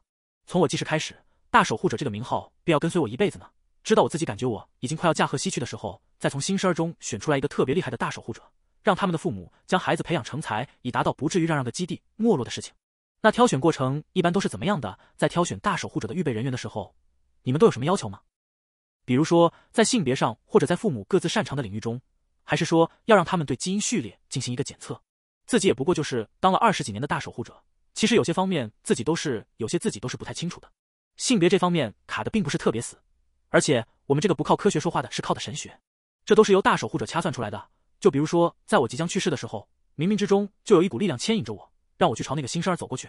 其实也就是凭着自己的第六感，让那个人来替代我的位置。如果我能早点预知到那个新生儿的话，在我临死之前，我还能将他抚养一段时间；如果我不能早点预测出来的话，那只有在临死前将自己这一辈子所做过的所有事情写成一个册子。交在下一任的大守护者手中，等到他长大成人之后，便会慢慢参透那其中的东西。听着可可利亚和自己讲的这些东西，林七夜有些似懂非懂。毕竟自己还以为这是一个需要靠血统才能一脉相传的东西，谁知道这么重要的位置，居然是仅凭着大守护者的第六感就能够决定。怪不得这儿的人发展的并没有那么的快。这种事情要是放在现代的话，肯定是可以震惊所有人的存在。毕竟一个团队的领头羊，居然只是靠着即将濒临的领头羊的第六感挑选出来的，真不知道这些人是怎么敢相信的。可可利亚，我觉得其实你可以考虑一下自己，先从新生里面跳出来几个聪明的，然后将他们一起培养，红中挑出来最聪明的，让他继承大守护者的责任。可可利亚在听到林七夜的这话之后，有些不可置信的抬起了自己的头。林七夜，这种东西本来就是由上天来决定的，怎么能培养呢？这样一来的话，到时候选出来的大守护者可就不是由天决定的了。看着还如此顽固守旧的可可利亚，林七夜也是十分无奈的叹了一口气。他怎么也没想到这人居然是这样。可可利亚，你有没有想过，如果你现在培养，到时候从中挑选出来，那最优的自然是能够把整个基地带领的更加前进了，而且能够在整个基地中被你选中培养成才，这也算是一种天意啊。我的出现就如同天意一般。现如今我给你们出的主意，也就是想要让你们的基地更加厉害罢了。这件事情你可以自己考虑一下，要不要实行，还是由你自己决定。在说话中，两个人已经到达了原来的基地。在刚到达基地的那一刻，克拉拉已经按耐不住自己激动的心情，在整个基地人的注视之下，冲进了林七夜的怀中。没有任何防备的林七夜让克拉拉得了逞，整个基地里面的男人看林七夜的眼神更加的不友善了。七夜哥哥，下一次你出去的时候带上我一起吧。你知不知道这段时间你一直不在基地，我很担心你啊。而且只有你和大守护者两个人出去之后，整个基地里面的人都在传播你们的谣言。林七夜怎么也没想到，这克拉拉现如今居然管得这么宽，连自己和谁出去都要管。幸亏自己不喜欢这样的人，要不然以后可得麻烦死了。克拉拉，我想有些话在我离开的时候已经和你说的很清楚了。我并不喜欢你，我的事情也不需要你管。至于我和大守护者两个人有事出去，别人的风言风语我自然是管不了的。还希望你以后把自己的位置能够摆正，不要过多的干涉我的生活。毕竟我们两个人之间也就是点头之交罢了。林七夜这话说出来之后，克拉拉直接哭了。出来旁边的那些男人看的可是快要心疼死了。林七夜，你怎么回事？作为一个男人，为什么没有一点的绅士风度？是啊。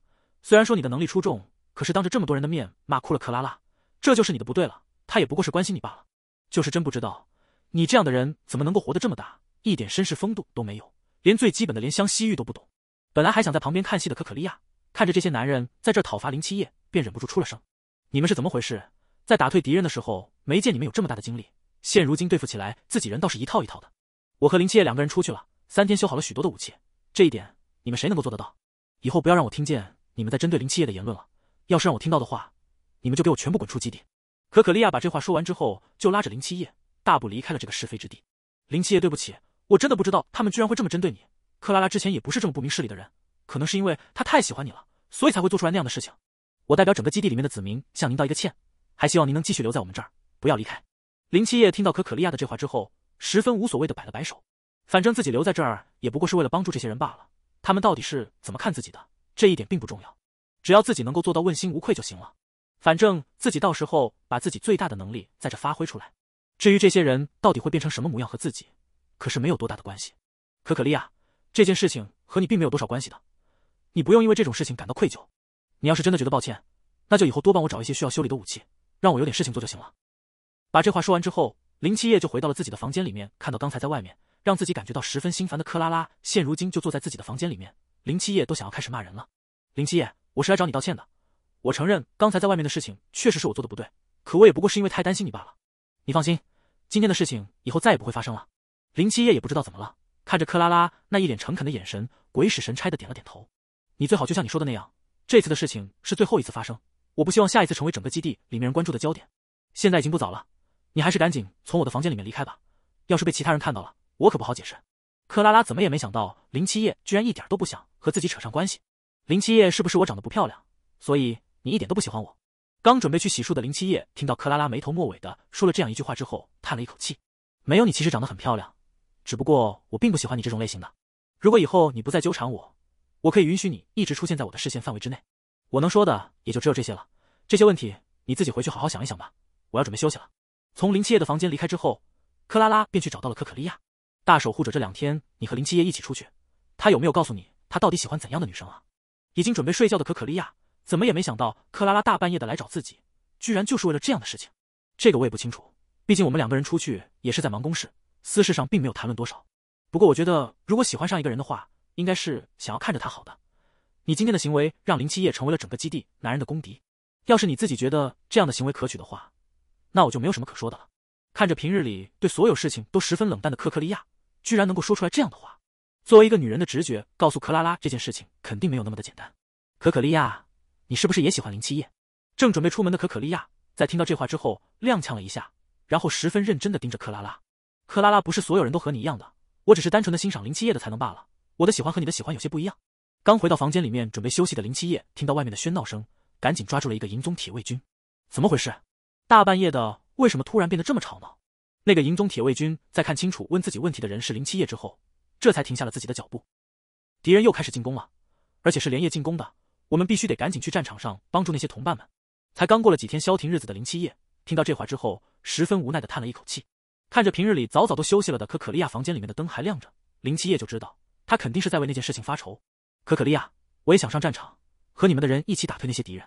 正愁眉不展的可可利亚在听到这话之后，看着一脸坚定的林七夜，一时间都不知道该怎么拒绝他了。林七夜，你要想清楚，这次是实打实的上战场，和之前的那些小打小闹不一样的。这次上去之后，极有可能会丢掉自己的性命。既然整个基地里面的人把我尊称为神，那我作为一个神，自然要肩负起自己肩膀上所扛的这个责任。我来这就是带你们走出黑暗的，并不是让你们单纯的来崇拜我。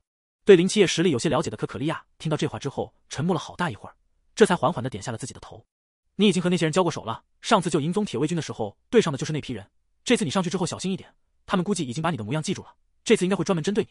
好，我知道了。你就在这里等我凯旋的消息吧。说完这话之后，林七夜便同那些银宗铁卫军一起上了战场。而林七夜在战场上浴血杀敌的时候，可可利亚和克拉拉两个人着急的在房间里面连觉都睡不好，想着上一次自己使用行迹的时候可是昏迷了好几天，所以在刚一开始的时候，林七夜只能靠着自己身的蛮力和那些人拼，并不敢使用自己的行迹。毕竟现如今战争并没有到那种白热化的阶段，自己要是现在昏倒了，那可就影响了整个部队的进攻历程了。宿主检查到外界有危险靠近。请问您要使用这次系统的话都没有来得及说完，林七夜十分坚定的点上了那个否的按钮。本来以为林七夜只是个花架子的银宗铁卫军，看着他在战场上浴血杀敌的模样，心中都不由得敬佩起了他。毕竟上一次见过林七夜杀掉那些敌人的银宗铁卫军数量实在是太少了，大家并不相信林七夜真的有那么厉害。可是当林七夜的实力真真正正的摆到他们面前的时候，他们这才明白，原来自己永远是比不上林七夜这类人的。本来计划半个月才能打赢的仗，在林七夜的帮助下。不过用了一周时间，大家便全部班师回朝。就在可可利亚想要奖赏银宗铁卫军的时候，谁曾想他们这次居然十分团结的站了出来。报告大守护者，这次的守卫工作主要是林七夜表现突出，所以我们才能大获全胜。这些奖赏我们不好意思拿。大守护者，如果您真的想要奖赏的话，那就请给林七夜一个人单独奖赏吧。没有上过战场的那些男人们看着银宗铁卫军居然这么护林七夜，当即就忍不住了。银宗铁卫军，你们也太没有骨气了吧！你们是我们整个基地里面培养出来最出色的人，你们居然在这种关键时候退缩。培养出来，你们本来就是为了对抗敌人的。林七和你们上了一趟战场，不过就是捡漏罢了。你们现如今居然这么的护着他，真不知道训练出你们这些银宗铁卫军有什么用？居然让一个外来人能够拿得到这次守卫工作中最突出的成绩。银宗铁卫军们都是些直来直往的性子，听着基地里面的那些男人居然开始阴阳怪气了起来，有一个没忍住，直接就走了过去，把自己身上的衣服全部扒开。这个是我们在上阵杀敌的时候身上留下来的印记，你们身上有吗？我打了十几年的仗，身上留下了这些疤痕。你知不知道林七夜和我们上了一趟战场，身上的疤痕和我所差无几。你们这些没上过战场的人，自然不懂得这是什么东西了。对于我们这些上过战场的人来说，这些东西就是荣誉刻在我们身上的荣誉。你们这些人整天在基地里面养尊处优的，觉得是我们这些营中铁卫军分走了你们的机会。可是，在每个男子成年之后，整个基地会进行一次选拔，只有实力突出的人才会被选入营中铁卫军。这一点在你们成年的时候，你们就已经清楚了，难道不是吗？现如今倒在这说道起来了，那林七夜也是靠着自己的实力才和我们一起去上战场的。如果你们有人愿意的话，那下一次我们上战场的时候可以带着你们一起。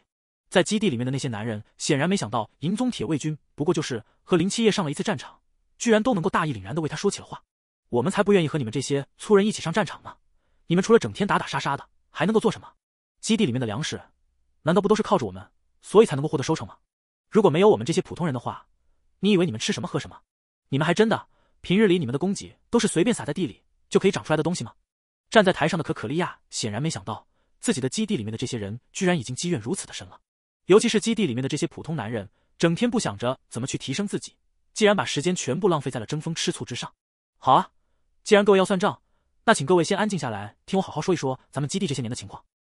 首先，每一次在上阵杀敌的时候，全部都是营中铁卫军去的。就算营中铁卫军的数量不够，我们也从来没在基地里面的普通男人中挑选过任何一个人，强迫他们去上战场。每年在农忙的时候，营中铁卫军都会先去庄稼地里帮忙收成，然后才忙自己的训练事宜。农闲的时候，我也会组织所有的银宗铁卫军去每家每户帮忙，重活粗活都是银宗铁卫军干的。这些你们没有什么异议吧？要是你们觉得银宗铁卫军做这些还不够的话，那你们来告诉我，银宗铁卫军还要做些什么，才会让你们这些第一次选拔都没有过的人心里可以平衡一点？可可利亚在说这话的时候，已经逼近了刚才在人群中闹事的那个普通男人。如果我没有记错的话，每年农忙的时候，银宗铁卫军第一个去的就是你家吧？难道这么多年下来，你都没有好好想一想，这些到底是因为什么吗？还没等那个男人回话呢，可可利亚接着开口：“那是因为你实在太懒了，就是因为你自己太懒了。银宗铁卫军们老是害怕下了大雨影响你的收场，所以每年第一个去的就是你家。如果我没有猜错的话，这次你针对的不是银宗铁卫军，而是被银宗铁卫军拥护起来的林七夜，对吧？”那个男人在听到这话之后，整张脸涨得通红，在所有人的注视之下，那个男人第一次硬气了起来：“是我就是对被所有银宗铁卫军拥护起来的林七夜有意见。”凭什么他来了这么这么多人选择喜欢他、拥护他，就连基地里面最漂亮的克拉拉也喜欢他？凭什么？他林七夜到底有什么过人之处，可以让基地里面这么多人为他发生改变？站在人群中的克拉拉显然没想到这件事情的导火索就是因为自己。在听到这话之后，克拉拉是再也忍不住了，直接就冲了出去。看着那张毫无印象的脸，克拉拉一时间都不知道该怎么开口了。我不知道你为什么觉得我漂亮，而且让你出现了，我不能倒追男人的这种想法。如果之前因为我的事情让你产生了什么误会，我在这给你道歉。只不过七叶哥哥在我的心中，他是一个顶天立地的大英雄，我不希望你这样说他。他才来了我们基地几天，你都没有好好算一算，他到底为我们基地做了贡献吗？他修复好了多少人修复不好的武器？他还上战场帮我们去解决敌人，就光是这些，我就觉得整个基地里面的人尊敬他是应该的。如果你觉得只会舞刀弄枪的那些人都是一些粗人，既然这样的话，那你就去学修理啊！你去将坏掉的那些机器全部修理好，那所有人也会敬佩你的。林七也能够得到这么多人的敬佩，自然是因为他两项都会。俗话说得好，台上一分钟，台下十年功。我不相信七叶哥哥能够在短短几天之内速成这些东西。你要是早在十几年前就开始学一门属于自己的手艺，现如今你也不会变成好吃懒做的这副模样。说完这些话之后，克拉拉就跑开了。而作为整件事情主角的林七叶，从头到尾都没有发表过任何一句话。看着周围人都逐渐散去，可可利亚这才一脸抱歉的看着林七叶：“林七叶，对不起，我是真的不知道基地里面的人居然这么的小心眼。”因为这些事情居然在这里这般的斤斤计较，要是你觉得我们这个基地不好的话，你可以随时选择离开，我绝对不会强留你的。看着每次因为别人做错的事情而找自己道歉的可可利亚，林七夜一时间都不知道该怎么办了。可可利亚，你只是整个基地里面的大守护者，你的职责就是保卫好他们的安全就行了。至于他们会变成什么样的人，这些都和你没关系的，这是他们的父母教的。我愿意留在这儿，就是因为你。如果你一直觉得愧对于我的话，我都不知道我还能在这继续待多长时间了。本来心情有些低落的可可利亚，在听到这话之后。唰的一下就抬起了自己的头，林七夜，刚才你说你留在这就是因为我是我想的那样吗？听到可可利亚的这话之后，林七夜这才反应过来，自己可能刚才为了安慰可可利亚，把自己的那点小心思全部给暴露出来了。我我结巴了好半天之后，林七夜也不能说出一句完整的话。反正我就是为了你留在这儿的，这一点你清楚就行了。说完这话之后，林七夜倒有些害羞的跑开了。当看到那些银宗铁卫军成群结队的勾搭在一起之后，林七夜都不知道自己该不该上去打招呼了。就在林七夜还在犹豫的时候，那几个银宗铁卫军已经过来主动搂住了林七夜。林七夜，我们银宗铁卫军有一个规矩，就是每打一次胜仗回来之后就要吃一次团聚饭。今天你也跟着我们上了一次战场了，这次吃饭的时候就把你一起带着吧。下次如果你跟着我们一起上战场的话，回来之后你也要主动找我们和我们一起去吃饭，明白了没有？被人突然这样搂住之后，林七夜一时间还没有反应过来，而搂住林七夜的那个银宗铁卫军看着自己怀中的人，好半天都没有反应，赶紧戳了戳他。要是你不愿意和我们一起去这种性质的吃饭的话，那就算了。这件事情我们也强求不来的，毕竟我们本来求的就是一个你情我愿罢了。林七夜听到这话之后，这才反应了过来，我愿意的，刚才就是没有反应过来罢了。我没想到你们愿意邀请我和你们一起去吃饭，本来我还以为我和克拉拉那件事情在整个基地里面闹的是风风雨雨的，你们这些人都不愿意理会我了。那几个银宗铁卫军也都是豪爽之人，在听到林七夜说这话之后，脸色先是沉了一下，然后很快的就反应了过来。其实这种事情我们也不是不能接受。就是一时间没有缓过来，你这才刚来我们基地，就让我们基地里面的大美女对你倾心，你说这件事情放在谁身上，谁能够好受啊？而且你都不知道，在你没来之前，克拉拉对男人的态度那叫一个冷淡。我们之前都以为她是喜欢女的，结果没想到她是对男人感兴趣。是啊，是啊，当时我都已经开始猜测克拉拉和可可利亚在一起了，没想到一个突然出现的，你让我们磕的 CP 直接毙了。我不管，林七夜，你必须得陪我们一对 CP。就这样，一群大男人在喝完酒之后。全部七倒八歪的各回了个家，而林七夜在回家的时候，则是碰见了晚上睡不着出来散心的可可利亚。可能是因为喝醉了酒，林七夜在对上可可利亚之后，完全没有了白日的那种拘谨。可可利亚，你根本就不知道，在第一次见你的时候，看着你那不食人间烟火的气息，我就觉得你引住了我。在我们那个小地方，男子和女子有一种感情叫做一见钟情，我对你就是那样。我不知道你对我是什么态度，所以我把对你的感情就全部隐藏了起来。要是你喜欢我的话，明天你给我一点回应呗。我一个大男人在你们基地有些不太好意思，我怕你拒绝我之后，我都不能在这继续待下去了。可可利亚怎么也没想到林七夜居然是喜欢自己的。林七夜，既然你这么喜欢我的话，那你就和我永远永远的在一起，陪我守护在这一片基地上，永远不要离开，可以吗？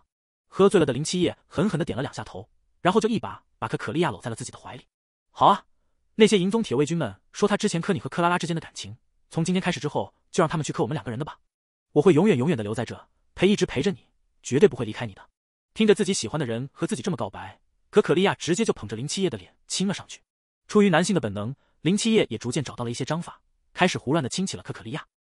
等到两个人气喘吁吁的时候，才放开彼此。就在可可利亚准备送林七夜回去的时候，林七夜好像突然想起来了什么一样，赶紧拽住了可可利亚的手。可可利亚，我有一个坏毛病，那就是每次我喝醉酒之后都会断片。今天晚上发生的事情，我可能都会忘记。明天你可一定要提醒我。我绝对不是那种乱来不负责的人，我一定会对你负责的。只不过今天我喝醉了，今天晚上的事情我有可能是真的记不得了。明天你可一定要提醒我。千万不能因为我不记得今天晚上发生的事情和我生气，好不好？听着林七夜和自己说的这话后，可可利亚第一次觉得自己面前的这个男人还可爱的紧。好，我答应你，明天我一定不和你生气，将今天晚上发生的事情全部一五一十的告诉你，这样行了吧？林七夜听到这话之后，这才十分满意的点了点头，然后一头栽进了可可利亚的怀中，开始呼呼大睡了起来。把林七夜拽回房间之后，可可利亚便在房间里面陪了他一个晚上，生怕他因为喝醉酒第二天起来头疼。第二天早晨，林七夜醒来之后，看着趴在自己床头的可可利亚，一时间有一些没反应过来。可可利亚，你怎么在我的房间？是不是昨天晚上我喝醉了，你送我回来的呀？听到这话之后，可可利亚第一次觉得林七夜昨天喝醉酒之前给自己的叮嘱十分有必要。林七夜，昨天晚上你喝醉酒之后发生的事情，你是一点都不记得了吗？林七夜十分懵懂的摇了摇头。我每次喝酒一直断片，如果有什么特别重要的事情，每次在喝醉之后，我都会告诉留在我身边的那个人。昨天晚上我应该和你说了，今天我会断片的事情吧？可可利亚沉沉的点了两下头。昨天晚上你和我表白了，我也喜欢你，所以我就答应了下来。我不知道昨天晚上你说的是不是真心话，可是你在昏睡之前你和我说过，你每次喝完酒之后都会断片这件事情，还让我今天一定要提醒你。听到自己喝醉酒之后居然这么的勇敢，林七夜可是开心的不行。自己藏在心里那么久的秘密终于可以说出来了，这种兴奋可不是一两顿酒就可以解决掉的。没有没有，昨天晚上我和你说的那些表白的话，全部是我的真心话，因为在平常我一直不太好意思和你说。可能是因为酒壮怂人胆吧。既然昨天晚上都已经和你说了一次了，那今天我也就不害羞了。可可利亚，今天我认认真真的再问你一次，你愿不愿意成为我的女朋友？我们两个人后半生一直在一起。看着自己喜欢的男人这般认真的问自己，可可利亚可是高兴的不行，赶紧点了点头，愿意。林七夜，我也是喜欢你的，我愿意和你永永远远的在一起。当可可利亚的这话说出来之后，林七夜没有任何的犹豫，一把就将人搂进了自己的怀中。在两个人互相对视了一眼之后，便开始捧着对方的脸亲吻了起来。正当两个人亲吻的难舍难分的时候，克拉拉突然敲响了房间的门。七夜哥哥，我听那些银宗铁卫军们说，你们昨天晚上一起去喝酒了，我给你送了一些醒酒汤来。看着自己怀中小女人生气的模样，林七夜没忍住，直接扑哧一下笑出了声。林七夜，我告诉你，之前我们两个人没有谈恋爱，克拉拉追求你的那些行为我可以忍受，可是从现在开始我才是你的正牌女友，有些事情该做，有些事情不该做，我想你应该很清楚吧。林七夜听到这话之后，还有什么不明白的？赶紧点了点头，然后就马不停蹄的去将门给打开。克拉拉，之前的事情，我想我都已经说得很明白了，而且现在我已经在基地里面有了女朋友了，你不要再纠缠我了。要是继续纠缠下去的话，我怕被他误会。前几天还说自己在基地里面没有喜欢的人，现如今居然搬出了这样一套说辞。林七夜说的这话，克拉拉自然是不相信的。七夜哥哥，我知道你不喜欢我，可是我有追求你的权利，这一点你并不能剥夺的。而且，你这两天一直都在和银宗铁卫军们一起打仗，难不成你居然喜欢男人，和那些男人谈恋爱了吗？在房间里面的可可利亚显然没想到这克拉拉居然这么的难缠，便在找准时机之后选择了出去。看到可可利亚从林七夜的房间里面走出来之后，克拉拉不可置信的瞪大了自己的双眼。你们，你们！克拉拉的眼神在他们两个人之间一直交换着，而林七夜则是十分肯定的点了点头，一把搂住了可可利亚。这就是我的女朋友。昨天晚上我们两个人一直在一起，就是在昨天晚上的时候，我们互相表明了心迹，决定在一起的。一个是自己最崇拜的大姐姐，一个是自己最喜欢的男人。他们两个人居然在一起了，克拉拉一时间都不知道自己该祝福还是该哭了。为什么是你们两个？为什么一定是你们两个人要在一起？整个基地里面那么多男人，你为什么一定要喜欢上林七夜？克拉拉不可置信的大声质问了起来，而可可利亚则是投去了十分抱歉的目光。对不起，这件事情也不是我能够控制得了的。林七夜是整个基地里面最优秀的男人了，我们两个人互相喜欢点在一起了这件事情，我并不能给你一个交代的。要是你觉得我们两个人对不起你的话，你可以打我骂我，但是我希望你千万不要做任何的傻事。看着对自己没有任何解释的林七夜，克拉拉十分伤心的跑开了。那个落寞的背影离开之后，可可利亚的心里面也空落落的。自己刚才不应该为了那一时的赌气而选择去刺激克拉拉的。要是那丫头真的想不开去做了什么傻事的话，那自己这一辈子都会良心难安的。七爷，我们两个人的事情还是先不要让其他人知道了吧。我现在去找克拉拉。至于这段时间，我们两个人就先不要在一起走了，我怕被其他人看见。自己好不容易谈了一个女朋友，而且还这么的优秀。林七夜当然是想让全基地的人都知道了。听到自己的女朋友突然说了这样一句之后，林七夜突然像个可怜的小狗一样。可可利亚，我都愿意向整个基地人承认你的存在。你为什么不愿意承认我的？难不成在你的眼中我就那么差劲？你连一个正儿八经的名分都不愿意给我吗？一时间，可可利亚陷入了十分两难的地步。行了，你现在赶紧去找克拉拉吧，我们的事情等到以后再说吧。要是你不愿意承认我们的关系，那也行。要是以后有克拉拉那样的女人朝我扑过来，我可是没有任何解释的办法。毕竟现如今是你和我说的，不能公开我们的关系。说完这话之后，林七夜直接就关掉了自己房间的门，然后进到房间里面去了。刚才在外面看起来还十分可怜的林七夜，在进入到房间里面，立刻就变了一副模样。他在窗户的缝隙中看到在外面一脸愧疚的可可利亚，林七夜就知道自己的目的终于达到了。在门口等了一大会之后，可可利亚还是逃不过自己内心的谴责，选择了去追克拉拉。等到找到克拉拉之后，看着坐在河边的他，可可利亚轻手轻脚的走了过去，一把将人拉到了后面。克拉拉，我知道林七夜是你喜欢的第一个男人，没有追求到他这件事情，对你来说可能会有些打击。可是我们两个人之间也是互相喜欢。总不可能让我们两个人为了成全你，然后选择不在一起吧？你觉得这样的事情有可能发生吗？克拉拉人这一辈子要碰到很多的人，可能现在你觉得林七夜是最好的，说不定以后你还会碰到更好的呢。克拉拉泪眼婆娑的看着可可利亚，十分不服气他的说法。可可利亚，那按照你刚才的说法，你觉得我以后会碰到更好的人？那你以后也会碰到更好的人，你为什么要和林七夜两个人在一起啊？看着这小丫头居然找起了自己的漏洞，可可利亚十分无奈的摇了摇头，因为我们两个人是互相喜欢啊。所以，不管以后会不会碰到更好的人，我们两个人现在都愿意选择在一起，就光是这一点已经足够了。我这么来劝说你的原因，就是因为我觉得你以后会碰到一个你喜欢也喜欢你的人，你们两个人可以和和美美的在一起，你可以不用花费那么多的时间在林七夜这样的男人身上。现在在你的心中，林七夜就是一个大英雄一般的存在。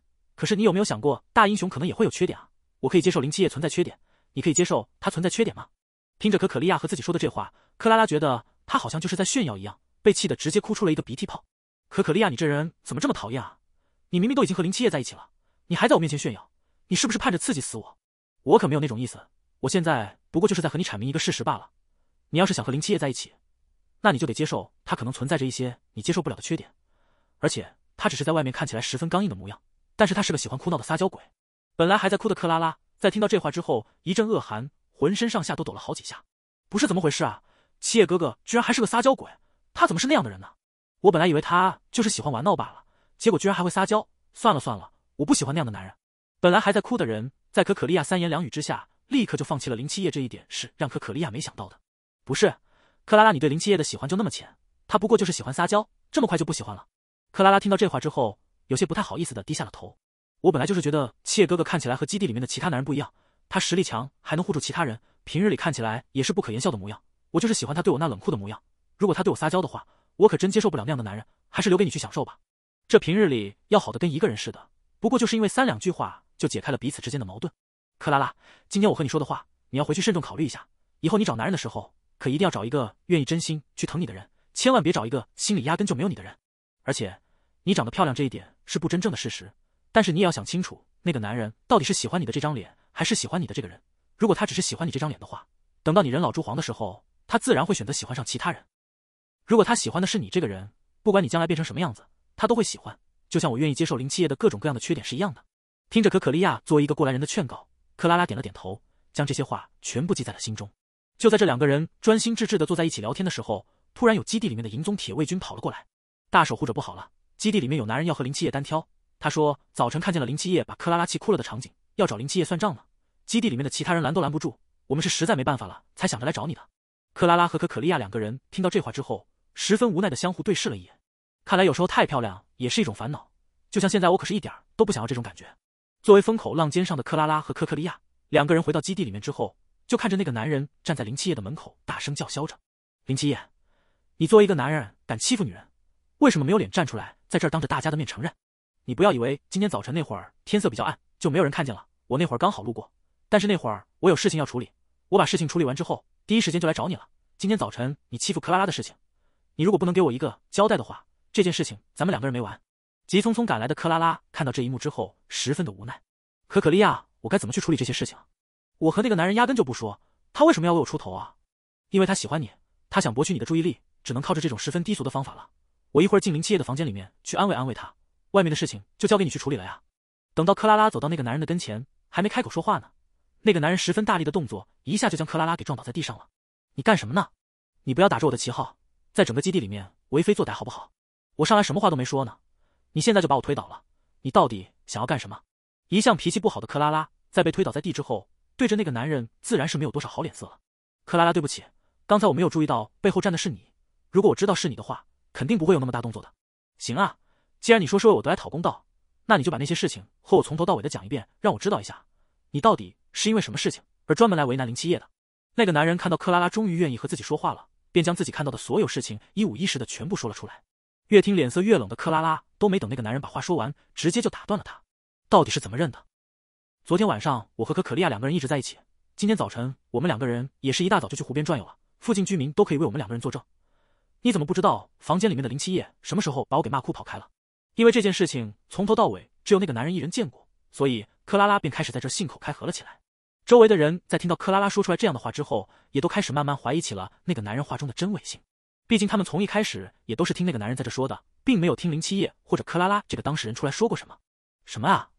今天早晨一大早，我明明都见到了，你当时穿的衣服还和这个一模一样的，怎么？难不成你觉得我和可可利亚还有林七爷三个人合起伙来在这污蔑你吗？还有我对你一点印象都没有，你为什么要在这打着我的旗号，说是为了我好？我想这件事情你应该给我一个交代吧。要是今天给不了我一个合理的交代，你绝对是从这里走不了的。克拉拉的话音刚落。平日里和林七夜交好的那几个银宗铁卫军也站了出来。刚才他们也就是怕基地里面的人说闲话，所以一直没有站出来。现如今当事人都已经开始出面解释起来了，他们要是再不出来的话，倒显得他们有些太怂了。那个男人眼看着周围的人围得越来越多了，只能灰溜溜的离开了。但是在离开的时候，他还是恶狠狠地瞪了一眼林七夜。毕竟在他的心中，这件事情怪的就只有林七夜。要是林七夜不来这儿的话，自己就不可能弄出来今天这样让人十分尴尬的事情了。你别用那样的眼神看着我，遇到你这样的人。我也很无语，况且你们这个地方我并不是特别想一直待下去，要不是有可可利亚在这儿的话，我是绝对不可能留在这儿的。说完这话之后，林七夜就回自己的家里面去了。克拉拉在旁边，刚才听到了林七夜的话，不知道为什么，心里面居然没有想象中那般难过。布洛尼亚站在人群中看着这场闹剧，当他看到大守护者和林七夜相视一望的那一瞬间，他就明白了平日里对这件事情并不是特别上心的林七夜为什么会突然解释了起来。原来心有所属的人是他们的大守护者呀。看着周围的人都散去了，布洛尼亚这才走到了可可利亚的身边。可可利亚，所以你和林七夜已经在一起的事情，你准备什么时候告诉整个基地里面的人啊？听到这话的那一瞬间，可可利亚的脸色瞬间发生了变化，一脸惊恐的看着站在自己身边的布洛尼亚。我我们看到他们的大守护者居然因为一个男的都说不出话了，布洛尼亚十分无奈的摇了摇头。你放心，这件事情只有刚才我细心注意到了，其他人应该都没有看到。不过我觉得。你们两个人只要开始谈恋爱，肯定会变得高调起来的。要是你们两个人不经意之中被基地里面的其他人发现了，那我可不能保证大家的反应会是什么样的。可可利亚听到这话之后，一脸的郁闷。毕竟在基地里面，大守护者不能结婚生子，已经变成了所有人默认的事情了。现如今自己谈恋爱的这件事情，一旦说出去，必然会引出不少的骚动。可是自己和林七夜确实是真心相爱，要让自己分手的话，那自己宁愿不做这个大守护者了。布洛尼亚看出了可可利亚眼底的纠结，便过去拍了拍他的肩：“没关系的。”之前那些大守护者们不愿意谈恋爱，是因为没有碰到合适的人。现如今你已经碰到了像林七夜这么优秀的人，我想你应该和整个基地里面的人说一下。我看那些银宗铁卫军挺崇拜林七夜的，就算普通子民不同意，可是这些上战场的人肯定是十分乐意的。只要整个基地里面有一半以上的人同意你们两个人的事情，那这件事情就成了。布洛尼亚的话给自己带来一线生机，可可利亚立刻就露出了笑容。行，我知道了，到时候我会找一个合适的时间告诉基地里面所有的人。那你可要尽快，要是在你们说之前被大家发现。你们两个人在一起的话，地里面所有的人都会感觉是你欺骗了他们，到时候就十分难收场了。可可利亚点了点头之后，就立刻去找林七夜商量起了对策。毕竟这件事情可是万万拖不得的。林七夜，你现在在忙吗？我有事情想要和你商量一下。一听到是自己的女朋友，林七夜立刻放下了自己手中的工作，赶紧给人把门打开了。有什么事情你现在就可以说，只要是你的问题，我随时都有时间。看着林七夜这么会的模样，可可利亚的心中闪过了一丝不太愉快的感觉。林七夜，你是不是在你们原来的那个世界里面谈过许多女朋友，所以在回答我的问题才会显得这么游刃有余啊？听到自己女朋友这样的问题之后，林七夜也是苦笑了一下。自己好歹都是这么大年龄的人了，没吃过猪肉还能够没见过猪跑吗？我没谈过许多女朋友，你是我的初恋。我这么会的原因，就是因为太喜欢你了，所以甜言蜜语才能张口就来。你刚才不是说还有什么问题要问我吗？要是再不问的话，这就属于耽误时间的行为了。在林七夜的提醒之下，可可利亚这才想起来自己来找他的初衷。我们两个人在一起的事情，刚才已经被布洛尼亚给发现了。我怕时间长的话，我们会瞒不住这件事情。我们总是得给基地里面的人一个交代。之前基地里面的大守护者并没有谈恋爱的先例，我是第一个，我也不知道该怎么和大家开口。可是，一直这样拖下去不说，被基地里面的人发现，他们会觉得我这个当大守护者的人骗了他们，后果会很严重的。林七夜也是没想到，自己不就是和可可利亚谈个恋爱吗？居然这么的麻烦。那现在这件事情有什么解决的办法吗？如果你这儿有的话，我一定第一时间配合你，和大家将这件事情说清楚。其实也挺简单的。你在基地里面的人缘怎么样？想着自己平日里和银宗铁卫军那群人相处的还不错。林七夜便点了点头。如果我告诉他们，咱们两个人是真心相爱的话，我想银宗铁卫军们应该都会支持我的。普通人中，我和他们也没有太大的过节，除过今天那个人之外，我和其他人的关系还算是不错。怎么这难道能够决定我们能不能继续在一起吗？听到这话之后，可可利亚这才算是松了一口气。只要你们关系好就行。一代大守护者之前定下的规矩，如果基地里面出现了之前立在大守护者身上都没有发生过的事情，那就要整个基地里面的子民们投票决定，只要赞成的票数可以过半。这件事情就能够继续实行下去。我们两个人谈恋爱的事情也是这样，如果有一半的人同意，那咱们两个人可以不用顾及其他人的眼光，好好的在一起了。一听到解决办法居然这么的简单，林七夜这才算是松了一口气。这样的解决办法，你都不早点告诉我，我刚才都要被吓死了。我还以为到时候我必须得上刀山下火海才能够证明我的决心。既然是这样的话，那我从明天开始就找那些银宗铁卫军帮我拉票，让我们两个人的恋情可以放在所有人面前。看着自己男朋友这么的有担当，可可利亚可是高兴的不行。行了，别装了，我已经看出来你很高兴了。既然男朋友这么棒，那你打算给我什么奖励啊？处于兴奋中没有回过神的可可利亚，显然没想到自己刚才的那些小动作，居然被林七夜看的是清清楚楚的。我给你什么奖励啊？明明你也是喜欢我的，我们两个人之间的事情就由我们两个人一起解决。只不过在这之前，我还是希望你能多给基地里面做一些事情。你做的多了，就算到时候那些平日里不和你打交道的人，也会因为你做的那些事情，觉得你是一个十分可靠的人，说不定他们到时候也会给你投赞成票呢。本来还想放松一会儿的林七夜，在听到这话之后，立刻浑身有劲了起来。那行，反正这会儿天色也不算特别早了，你赶紧回去收拾一下，休息休息。我今天晚上把这几个机器全部修好，等到明天，我再出去帮个家各户修理一下他们平日里的那些生活用品。我还不相信吃人嘴短拿人手软的，他们到时候还能够不帮我们。第二天，林七夜和那些银宗铁卫军把自己和可可利亚的事情刚说出来之后，那些银宗铁卫军们都露出了十分震惊的表情。不过大家也很快的就消化了，想起之前基地里面的那些规定。几个银宗铁卫军瞬间就明白了林七夜给他们说这话是为了什么。林七夜，我们几个人帮你也不是不行，只不过你怎么说也得给我们一点回报吧。如果到时候大家同意你和可可利亚交往的事情，你请我们吃一顿饭不过分吧？本来还想着这些人可能会强迫自己，听到他们的话之后，林七夜这才松了一口气。不就是让你钱一点吗？反正这儿又花不了多少的钱，不过就是一顿饭的事情罢了。行，我答应你们，等到事成之后请你们吃饭，吃饭地点随你们挑，吃完之后由我买单。这样行了吧？那几个银宗铁卫军在听到这话之后，自然是心满意足的离开了。刚一开始，基地里面的那些人听说了这件事情之后，都是十分不愿意支持林七夜的。毕竟自他们有历史以来，就从来没有大守护者谈到林七夜为他们做的那些事情之后，恋爱这样的事情发生。可是当看大家的心中又有一些松动了起来，很快就到了要投票的那一天。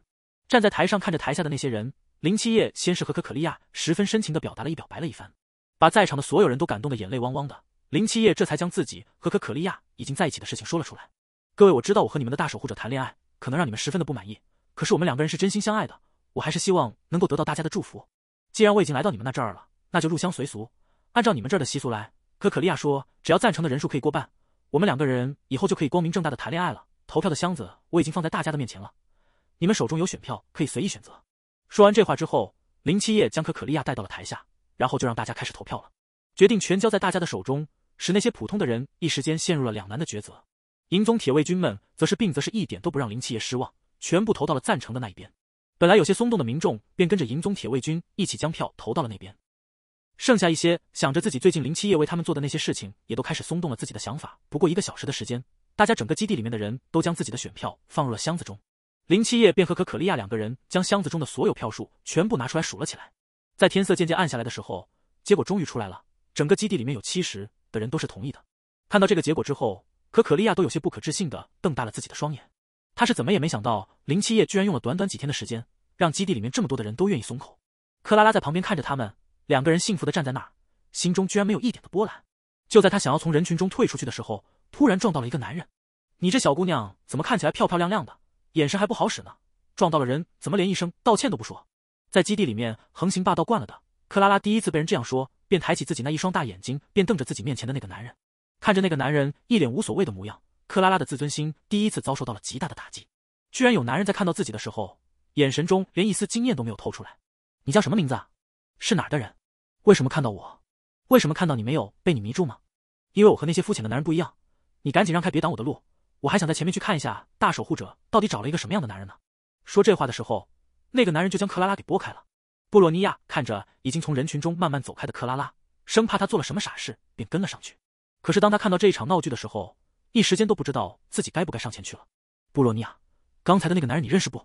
我知道那个男人，他的名字叫做史瓦罗。他平日里不太喜欢在基地里面走动，而且居住的地方比较偏僻。你没见过他是正常的。哦，原来是这样。不过他看起来还挺帅的。他的身体看起来还挺不错的，为什么没有加入银宗铁卫军啊？这个我就不知道了。不过我之前一直听人说他的性格比较孤僻，可能是因为这一点，所以他并没有参加银宗铁卫军的选拔吧。克拉拉在旁边似懂非懂的点了点头。为什么自己在刚才看见史瓦罗的那一瞬间，比自己之前看到林七夜的时候更加心动呢？克拉拉，你还要出去吗？要是你想在周边转一转的话，我陪你一起。反正我今天也没有什么事情。本来还想要在周边转一转的克拉拉，在看到史瓦罗的那一瞬间，就改变了自己的想法。布洛尼亚，你不用担心我的。我早都已经不喜欢林七夜了，不过一会儿我有更加重要的事情去办，你能不能别跟着我？知道克拉拉是那种有什么就说什么的性格，她可是从来不屑于撒谎的，所以布洛尼亚便十分放心的让她离开了。可以，不过你今天得早点回来，要是你回来的晚，我怕可可利亚会担心你。点了点头之后，克拉拉便在人群外等着从人群中出来的史瓦罗。果然没过多大一会儿之后，史瓦罗便从人群中挤出来了。史瓦罗先生你好，我的名字叫做克拉拉。史瓦罗在看见克拉拉之后，一脸的疑惑，这位美丽的小姐。不好意思，我对你没有任何的印象。你是怎么知道我的名字的？看到史瓦罗那一脸认真的模样，克拉拉并没有怀疑他在撒谎。刚才你进人群中去看大守护者和她男朋友的时候，我不小心撞到了你，我还没有来得及和你说一声抱歉，你就从人群中穿进去了，我便在外面一直等着你。史瓦罗听到这话之后，投去了十分抱歉的目光。没关系，那不过是一件小事而已。说完这话之后，史瓦罗便准备离开。可是好不容易有了新目标的克拉拉，怎么可能会让他就从自己的眼前这样消失呢？不行。对你来说是小事，一件对我来说特别的重要。为了表达对你的歉意，我请你吃饭吧。第一次被人这样纠缠的史瓦罗听到这话之后，脸色十分的难看。我知道你是好意，想要感谢我，不过我并不需要你的感谢。你一直跟着我，只会打扰我。还希望你看着史瓦罗的模样，克拉拉十分失落的低下了头。好吧，既然你不愿意让我请你吃饭，那我离开不打扰你了。说完这话之后，克拉拉就准备离开。这一举动让旁边的史瓦罗满心愧疚，毕竟是自己的原因，和克拉拉又没有多少关系。自己居然和克拉拉发脾气，克拉拉，刚才是我心里面想了点事情，并没有想要拒绝你的意思。如果你想请我吃饭的话，我们两个人现在去怎么样？不得不说，克拉拉这一招以退为进，玩的那叫一个炉火纯青。听到史瓦罗叫自己之后，克拉拉便知道自己的计谋已经得逞了。你确定现在你能够和我去吗？我怕我过来之后，你又因为你自己的事情对我发脾气。史瓦罗十分尴尬的挠了挠自己的脑袋，这才开口：“对不起啊，刚才的事情我不是故意的。要是你觉得不解气的话，要不然我请你吃饭吧。”你想吃什么随便点，算了，说好是我请客，那就必须得由我来请客。我们去前面那家餐厅吧，我之前一直去那家，他们的味道做的还不错。别人请客，施瓦罗自然没有什么挑剔的余地了，跟着克拉拉的脚步便走进了那个店里。店里面准备吃饭的林七夜和可可利亚，在看到克拉拉居然带着一个男人进来之后，他们两个人都有一些震惊，尤其是可可利亚在看清楚那个男人的脸之后，就更加的震惊了。可可利亚，你和林七夜也来这家吃饭啊？要不然咱们四个人拼桌吧。两个人吃饭实在是太无聊了。林七夜听到这话之后，看了一眼自己旁边的克克利亚，我们两个人无所谓，主要是看你们两个人。一时间，所有人的目光都看向了史瓦罗。我我不管什么样都可以的，你们做决定。听到史瓦罗那结巴的声音，可可利亚就知道他还是和之前一样。真不知道克拉拉到底是用了什么办法，才把这人叫进来和他们一起吃饭的。克拉拉再加了几个菜之后，四个人便一起吃起了饭。看起来是四个人一起的。其实四个人一起的交流并没有多少。林七夜忙着和可可利亚两个人培养感情，而克拉拉则是忙着了解史瓦罗更多的信息。吃完饭之后，没等克拉拉起身呢，林七夜就将饭钱给结了。克拉拉，我和林七夜一会儿还有点事情，我们两个人就先走了。饭钱林七夜都已经开了，你们两个人吃完可以直接离开。埋头苦吃的克拉拉在听到这话之后点了点头，便继续和史瓦罗说起了话。从餐厅出去之后，林七夜这才把自己埋藏在心底的疑惑问了出来。那个史瓦罗的身体看起来还挺不错的，为什么之前银宗铁卫军招人的时候他没有参加？难不成他和我一样也来的比较晚吗？按理说银宗铁卫军里面就应该多招一些像史瓦罗那样的人，我看他上战场应该一个打十个没问题的。可可利亚在听到林七夜的这话之后，也是十分无奈的叹了一口气。不是我们不愿意招他，是史瓦罗自己不愿意参加银宗铁卫军。之前招人的时候我找过他好几次，他都是不愿意，好像说和人交流有什么障碍。所以今天我看见他和克拉拉两个人一起进来之后，我都有些震惊。史瓦罗一直是我们基地里面的人，可是整个基地里面好像除了我和史瓦罗说的话多一点，其他人都没有和史瓦罗有过太多的交流。甚至有时候基地里面有活动，大家都能够把他的名字给忘掉。一个人在基地里面居然能够活成这样，林七夜也是十分无奈的摇了摇头。他怎么也没想到，这家伙块头看起来挺大的，居然在和人交流这方面有障碍。其实这样的情况，我觉得你们应该找心理医生，到时候给他看一下。那种问题一般都挺好解决的。可可利亚听到林七爷这种异想天开的话之后，也只能摇了摇头。之前我找人去过他家看过他，完全就是一个拒绝和人交流的状态，我也没什么办法。让克拉拉到时候和他多接触一点吧，说不定克拉拉能够解决他这方面的问题呢。对于别人的事情，林七夜一向是不太喜欢多操心的。一想到自己接下来要和可可利亚去干的事情，林七夜瞬间就觉得自己热血沸腾了起来。好了，你就不要想别人的事情了，咱们两个人接下来要做的事情，你做好准备了没？一听到这话之后，可可利亚这才紧张了起来。我早都已经做好准备了，咱们两个人赶紧过去吧，今天早点把这个事情给解决掉。从林七夜身边走过的几个营中铁卫军，在听到这话之后。都对林七夜投去了异样的目光，不过林七夜向来随心所欲惯了，并没有在乎这些。等到两个人到达那个地方之后，林七夜这才露出了十分开心的笑容。可可利亚，你真的太让我失望了！之前明明有这么好的地方，你从来不和我说。要不是咱们两个人在一起的话，这地方估计我这一辈子都不可能知道了。我明明有修复好这些东西的能力，你为什么不早点告诉我？难不成之前你还想着一直瞒着我吗？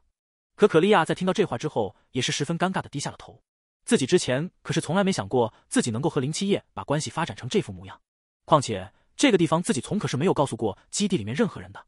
如果我们两个人的关系没有更进一步的话，这个地方我应该不会告诉你的，毕竟这是属于我的一个私人地方，基地里面压根就没人知道。你就别这样了。那现在我不是已经把你带进来这个地方吗？你现在跟着看不就行了？事情还挺多的。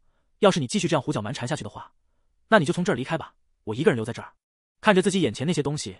林七夜可是一点都舍不得说重话的，毕竟这儿的东西可要比外面的那些好多了。自己要是能够把这些东西修理好的话，以后上战场可就不用像上一次那么吃力了。好了好了，刚才我不过就是和你开开玩笑罢了。我现在要开始修理这些机器了，你要在旁边看吗？以可可利亚对林七夜的了解，当他问出来这种话的时候，一般是不想要人陪在自己身边的。我出去在外面转一转，里面修理的任务就交给你了。如果到时候修出来的东西不能让我满意的话，那你就完了。林七夜目送可可利亚离开，这才打开了自己的系统，宿主。您确定要启用第四行迹，神级天赋重塑吗？看着这个每次都要弹出来的对话框，林七夜恨不得将这个系统给直接拆掉。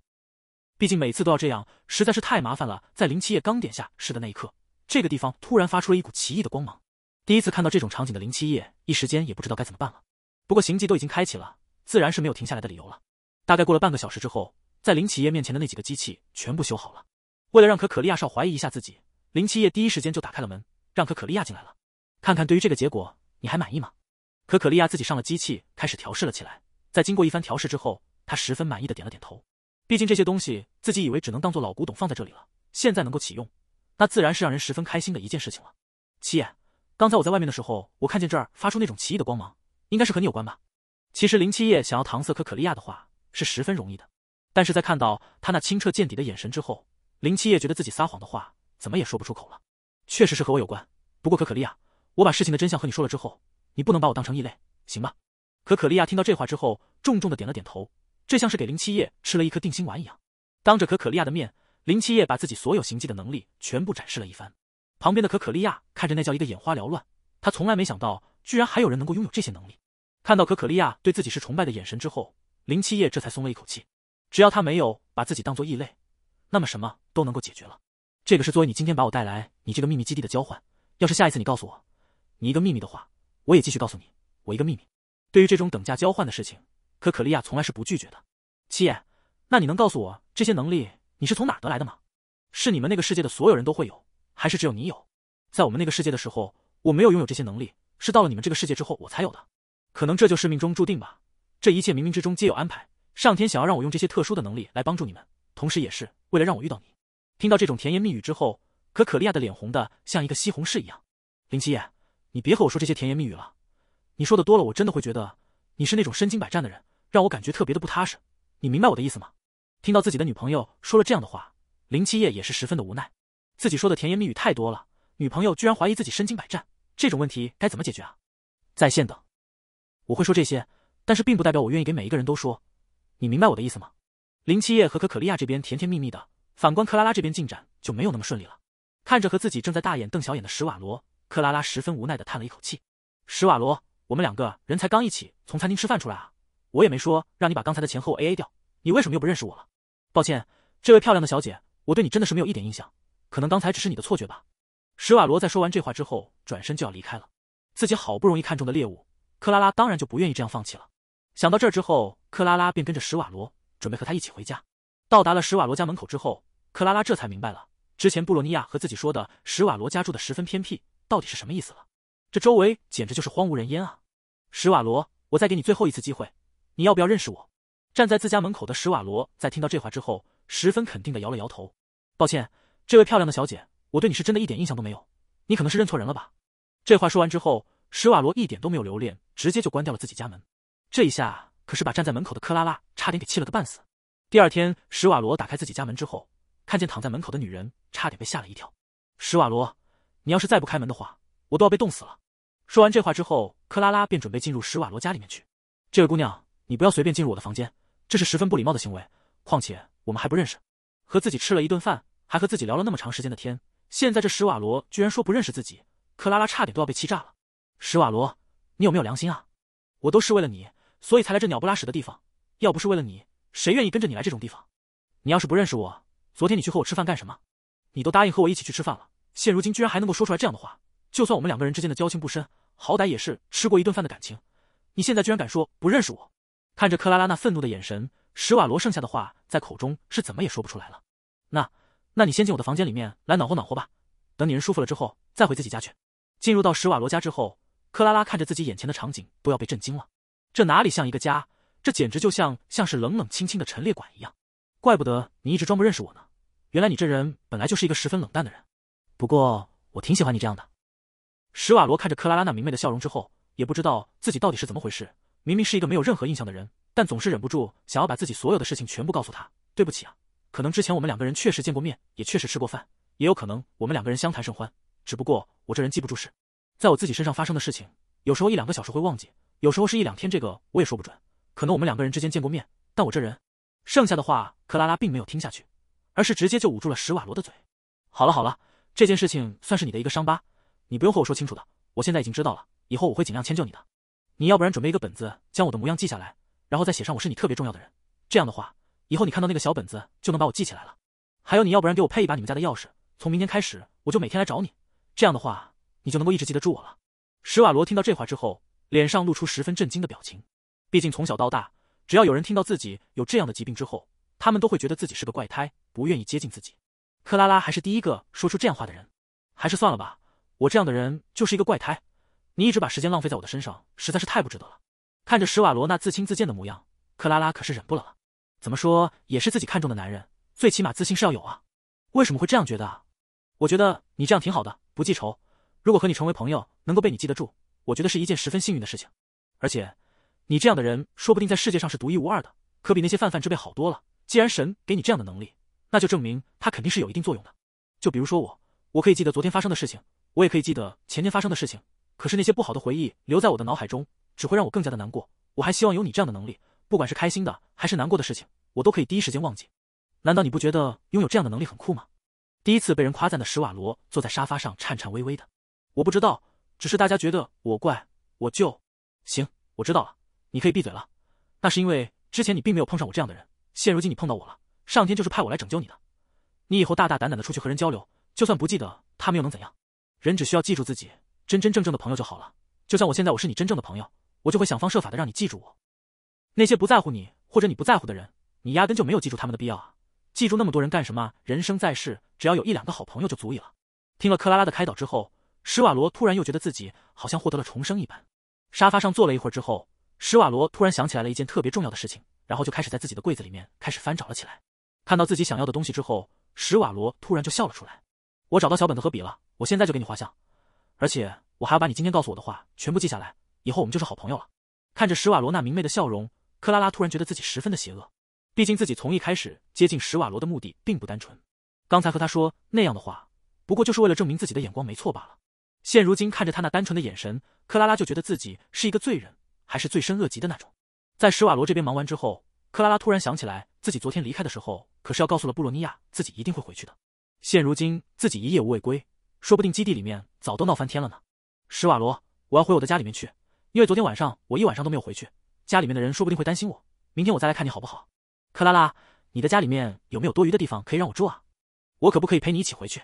一想到克拉拉要回去，史瓦罗也不知道怎么了，自己就是不想和他分开。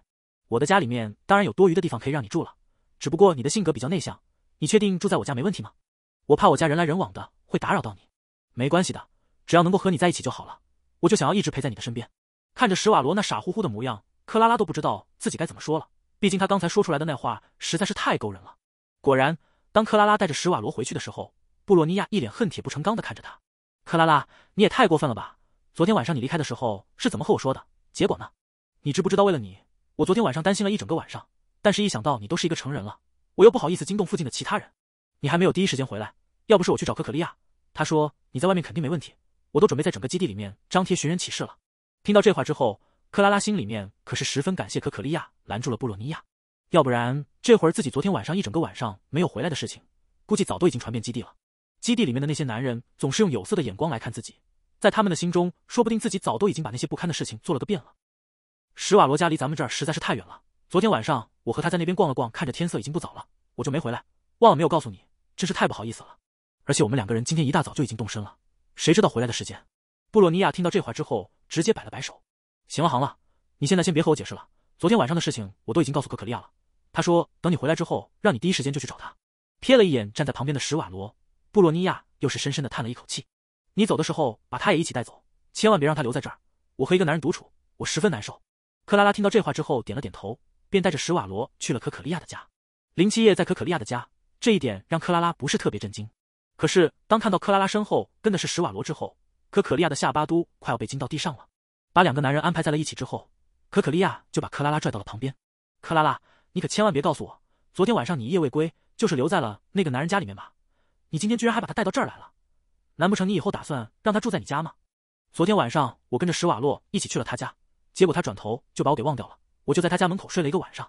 今天早晨醒来之后，针对他的问题，我们两个人探讨了好大一会儿，将所有的问题全部解决之后，我准备回来，结果他说要和我一起回来。当他可怜巴巴的望着我的时候，我也只能把他带上了，毕竟他一个人在那么大的房子里面住着，孤苦伶仃的，我有些于心不忍。可可利亚在听到这话之后，也只能默默的叹息了一下，然后就开始敬佩起了克拉拉的美貌。毕竟自己之前为了银宗铁卫军的事情找了史瓦罗许多次，每次都是被他拒之门外。好不容易能够进去，结果那家伙半天都说不出来一句话。现如今这克拉拉不仅能够进到他家，还能把人直接从家给领过来，这种人物自己是着实佩服的不行。既然你已经把人给带出来了，那你就要对人家负责。还有史瓦罗有没有跟你说过他到底是因为什么不参加银宗铁卫军的？还有他为什么一个人住在那么孤僻的地方？这些东西你有没有了解到一些？本来想要将所有事情全部告诉克克利亚的克拉拉，一想要再和自己说这话的时候，十分落魄的神情，克拉拉便觉得自己应该把这些事情先瞒下来的。我们两个人也就是探讨了一下他昨天为什么说不认识我的事情，至于其他的我也不好多了解，毕竟我们两个人认识的时间也不长啊。如果你放心，他住在我们家，我一定帮你把这些东西全部打问清楚，尽量让他去参加银宗铁卫军。昨天我都看了，他那体格不参与银宗铁卫军，实在是太可惜了。把这话说完之后。克拉拉这才突然反应过来，自己说话的语气十分暧昧。我我我和他没什么的，我们只是……行了，你不用解释了，我知道你们两个人之间清清白白的。昨天晚上你连房间都没有进得去，不过这下住在你家，你这属于近水楼台先得月，以后会不会发生点什么？啧啧啧。听到可可利亚这调侃的语气之后，克拉拉的脸羞得那叫一个红。可可利亚，你别太过分了，你要是继续这样调侃我的话，那我可就要在整个基地里面说一下你们两个人的恋爱日常了。就在气氛十分尴尬的时候。林七夜突然走了过来，克拉拉，我已经猜到史瓦罗因为什么不认识你了，你要不要听一听？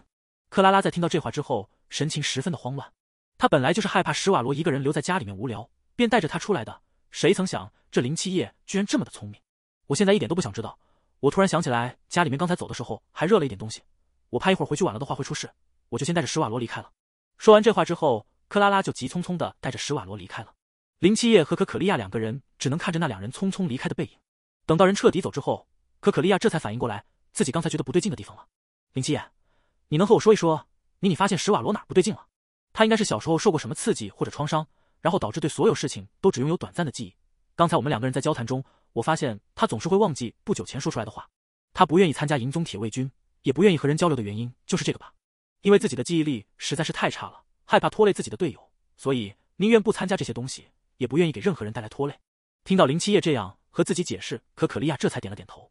那克拉拉应该是知道了这件事情的，可能是害怕其他人用有色的眼光来看史瓦罗，所以才刚才不愿意和我说的。说完这话之后，可可利亚这才反应过来，林七夜既然知道有这种疾病的存在，那就应该对这种疾病的治疗方法有一定的了解吧？那你有没有把握可以治好史瓦罗？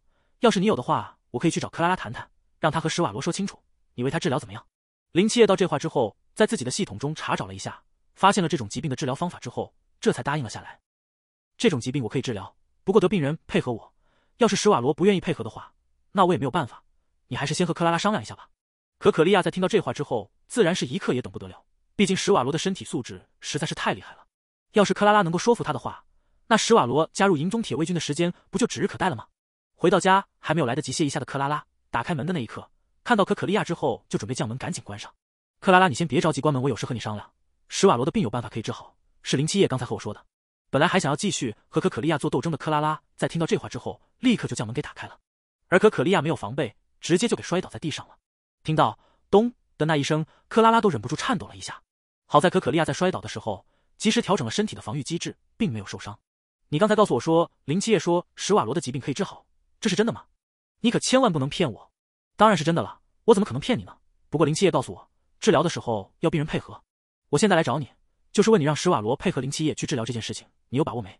克拉拉怎么也没想到史瓦罗治疗的关键居然处在了自己的身上，他还有一些震惊。一想到史瓦罗在治疗好之后可以为基地创造许多，克拉拉也只能点了点头。这件事情我也不能给你保证，说我绝对能够做好。不过我会尽我自己最大的努力去说服史瓦罗的。明天我给你一个答案，怎么样？莱，还以为自己最起码要等个十天半个月的时间，一听到明天就可以得到答案，可可利亚自然是十分欣喜的了。送可可利亚离开之后，克拉拉便转头看向了坐在沙发上一脸童真的史瓦罗。史瓦罗，你有没有想过治疗好你现在这个疾病？等到治疗好之后，你就能够记得所有的人。记得所有的事情了，你愿不愿意？听到这话的史瓦罗还有些没有回过神，他怎么也没想到困扰了自己这么久的疾病居然可以治好。要是可以的话，我当然想治疗好了。克拉拉很满意史瓦罗的这个答案。我有一个朋友可以治疗好你这个疾病，不过他说前提是你得配合他。明天我带你去在他那看看，要是能够治疗好的话，咱们就治疗；不好的话就算了，行吧？史瓦罗听到这种话之后，自然是开心的了。好，我到时候一定配合，只要能够将我的这个疾病治疗好，不管让我做什么，我都愿意。两个人在继续说了一会儿话之后，便赶紧洗漱，准备入睡了。毕竟他们明天还要去找可可利亚呢。第二天，可可利亚起了一个大早，就坐在自己家中等施瓦罗和克拉拉上门。果然，可可利亚没等多大一会儿，克拉拉就和施瓦洛两个人一起过来了。可可利亚，昨天晚上我已经和施瓦罗商量过了，他说愿意配合你们治疗。你有没有问过林七夜这个治疗需要多长时间？有没有失败的可能性？准备进门，林七夜听到居然有人质疑自己，当即就不乐意了。只要是我说可以治疗好的，那就肯定可以治好。你就放心吧，这个治疗周期也花不了多长时间，三五天就可以好了。我看史瓦罗的身体素质不错，最多应该三天吧，到时候他就能够记得人和事情了。克拉拉听到这话之后，可是高兴的不行。将史瓦罗安排进自己专门准备的房间之后，可可利亚便拉着克拉拉和他一起出去了。可可利亚，你这人怎么是这样？你明明知道我对史瓦罗的事情有多上心，你居然还不让我在旁边看着你，这不是要让我着急死吗？可可利亚听到这话之后，也是十分无奈。毕竟林七夜用来治疗疾病的方式和平日里大家见到的不太一样。要是自己不把克拉拉拉走的话，让克拉拉看到林七夜的治疗方式与众不同，万一他把林七夜当成怪类了，那可就不好了。林七夜做事的时候不喜欢旁边有人的，之前我们出去修理东西的时候也是那样，我都不能在他身边看的，更何况你呢？你就放心吧，史瓦罗交给林七夜绝对没问题。看着克拉拉对史瓦罗那担心的模样，克克利亚这才算了一口气。之前自己还害怕克拉拉因为自己和林七爷在一起的事情受到什么打击。现如今看来，那些担心都是白费的。毕竟克拉拉现如今心上已经有了一个史瓦罗。克拉拉，你能和我说一下你为什么会喜欢上史瓦罗吗？他连你都记不住，你看起来像个木头一样，你为什么会对那样的人心动？基地里面那么多优秀的人喜欢你，你为什么不喜欢，反而要去喜欢连你都记不住史瓦罗？难不成就是因为史瓦罗看起来比较老实吗？克拉拉听到这话之后，脸红了一下，然后有些不太好意思的低下了自己的头。其实我也不知道是因为什么，第一天我和施瓦罗相遇的时候闹得还有一些不愉快，我当时不小心把他给撞了一下，他给我说话的语气还不是特别好。结果看到他那背影之后，我就突然明白了书中写的怦然心动是什么意思了。然后我就在人群外等着他出来，想着请他吃一顿饭。结果他居然不认识我，我一下子就对他来了兴趣，追着他回了一趟家，知道了他的那些过往。听到他毫无波澜的说起那些事情之后，我对他好像有点心疼。我就是觉得他从小到大周围没有一个认识的朋友，甚至连自己住的地方都是荒无人烟的。那一刻我就觉得他特别可怜。我想要和他做朋友，结果他太真诚了。我想要从他家离开的时候，他可怜巴巴的望着我的那一刻，我就觉得我应该把他带走，他就应该在外面和其他人交朋友。有些事情可能就是上天注定吧。你说基地里面那么多男人追求我，可是我一个都不心动，就是这个施瓦洛让我想要一直守护着他，就是那种感觉太迷人了。可可利亚听着克拉拉诉说自己心动的故事，突然想起来自己第一次见林七夜的时候，好像也是那种感觉。那你能和我说说当时为什么觉得你喜欢林七夜吗？被人家的女朋友这样问。就算克拉拉平日里脸皮再厚，这会儿也有些不太好意思了。当时我就觉得林七夜是咱们整个基地里面的大英雄，我这样漂亮的人就应该配一个大英雄的，鬼迷心窍的和他表了白。谁知道人家压根就对我不上心，喜欢你这个大守护者，这可能就是你的人格魅力吸引到了他。两个人边走边说，转了好大一圈之后，这才回去。林七夜看着已经完全恢复了的史瓦罗，都有些震惊。他没想到这家伙居然厉害到这种程度了。那你对你之前发生的那些事情还都记得吗？史瓦罗听到林七夜的这话之后，有些疑惑：“你说的是哪些事情？我现在脑海中只对克拉拉一个人有一点点印象，对于其他的人，我是半点印象都没有。”正准备进门的克拉拉，在听到这话之后，可是被感动的不行。林七夜，你们两个人怎么坐在这还聊起来了？明天还要我带史瓦罗过来吗？为了避免自己被人调侃，克拉拉便先发制人：“明天不用过来了，史瓦罗的身体素质实在是太厉害了，他忘人的那个毛病已经完全被治好了。你们两个人可以放心去培养感情了。”对你们两个人以后没有多少影响的。本来以为自己可以避免一场调侃的克拉拉，怎么也没想到这林七夜居然也是一个腹黑的。可可利亚，看来你要好好管一下你的人了。说完这话之后，克拉拉就拽着史瓦罗离开了。在房间里面的可可利亚则是一脸担心的看着林七夜：“你刚才在帮史瓦罗看病的时候，没有让他发现你的系统吧？没有，我隐藏的特别好。而且在帮他治疗之前，我已经给他打入了麻醉剂。”说完这话之后，林七夜的脑海中突然蹦出了一个想法：可可利亚。你有没有发现这儿的人都是依靠平日里打猎获得的那些食物来果腹的？你都没想过你们靠自己的双手种植一些植物来补充你们体内所需要的营养吗？显然这种想法在之前是从来没有过的。可可利亚瞪大双眼看着林七夜，等他把话继续说下去。我在我的系统中发现了一些我们那个地方吃的植物种子，那些可以补充人体所需要的一些营养。你们平日里大多都是以肉为食，等到天寒地冻的时候，你们这儿压根就没有什么植物。我可以给你们提供技术和种子，让大家试着种一下，怎么样？可可利亚在消化了好大一会儿，才反应过来。林七夜，那你刚才说的意思是不是冬天我们都可以吃到那些绿油油叶子一类的东西？对，就是这样。听到林七夜给自己说出了肯定的答案之后，可可利亚可是高兴的不行。那既然你可以给大家提供的话，那我们就抓紧时间种植吧。趁着敌人这段时间还在休养生息，银宗铁卫军可是有大把的时间的。看着可可利亚比自己还着急的模样，林七夜笑着点了点头。你可以从今天开始下令，让银宗铁卫军们将地给锄好，然后我选择一小片田地先进行试验。等到东西种出来之后，让所有人品尝之后，再让大家决定要不要大面积的种植。毕竟这件事情你一个人说了不算。况且现在这种时间天寒地冻的，我们也需要制作一些特殊的房间，在那些特殊房间里面进行种植，要不然长出来的植物会被这种环境冻死的。听到林七夜这样和自己说，可可利亚这才反应过来，刚才是自己太过心急了。行，都听你的，反正我对这方面也不是特别了解，所有的一切都由你来决定。可可利亚都已经批准同意了。林七夜便去银宗铁卫军里面找了两个自己特别信得过的人，再叫了一个史瓦罗，三个人便开始忙碌起了种植蔬菜的事情。当一个白色的小房间搭好之后，整个基地里面的人都震惊了。毕竟那种小房间是全透明的，里面又不能住人，不知道林七夜将那种东西盖出来到底是想要干什么。在大家的不解声中，林七夜将自己准备的第一批蔬菜种子全部播种。过了半个月，当那些绿油油的菜芽全部冒出尖来，林七夜和可可利亚两个人可是高兴的不行。再过一周，这些蔬菜就可以全部采摘了。到时候请大家吃一顿蔬菜宴，你可以和基地里面的人提前说一声。看着站在自己面前为自己的基地里面解决实事的林七夜，可可利亚高兴的上去就亲了他一口。这个是给你的奖励，等到你以后完成的更好了，给你更多的奖励。这话说完之后，可可利亚就害羞的跑掉了。毕竟这可是自己第一次做如此大胆的事情。在一周后，第一批蔬菜终于成熟，林七夜也是按照和可可利亚说的那样，将所有的蔬菜收获之后，便给大家做了一顿蔬菜宴。许久没有见过绿色食物的，整个基地都沸腾了。毕竟这种东西，他们许久才能吃一次，可是要比肉还更加珍贵呢。当所有人都吃得酣畅淋漓的时候，林七夜这才站在了最高处。各位，你们现如今吃的这些蔬菜，全部都是这段时间我在那个白色的小房子里面种出来的。我的手里面现在还有种子。我现在就是想和大家商量一下，你们想不想要实现蔬菜自由？要是想的话，咱们就再多建造一些那种小房子，然后将蔬菜的种子播种在里面。这样一来，不管是什么时候，大家就都能够吃上绿色的蔬菜了。同样，我这还有一些其他的种子，大家也可以同时将它们播种在地里面。一听到可以实现蔬菜自由，整个基地里面吃饭的人全部停下了自己的筷子。林七夜，你要和我们保证，我们只要种植下去，那你就一定可以长得上来。有一个人的话刚说出来之后，一直在给林七夜帮忙的那两个银宗铁卫军直接就站了出来。你们就别问林七夜了，就我们两个人都能够给你保证，这个过程我们两个人一直跟着林七夜，这些东西的种植流程我们可是再熟悉不过了。你们都不清楚，我们可是亲眼看着那些绿色的小芽一下一下发出来的。银宗铁卫军在基地里面可是最受人敬重的了。当他们都说出来这样的话之后，其他人自然是不会怀疑了。林七夜，我们愿意相信你跟着你一起去种植这些蔬菜。不过你们你总得和我们说一说，你那儿到底有多少个种子吧？就是，而且你刚才说的那蔬菜自由，完全就是乱说吧？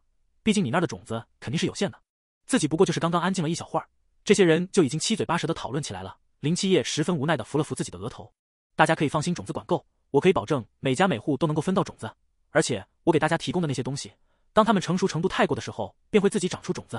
我会把种子的收集方法教给大家，大家可以将那些种子留下，等到合适的时间将它们给种植下去。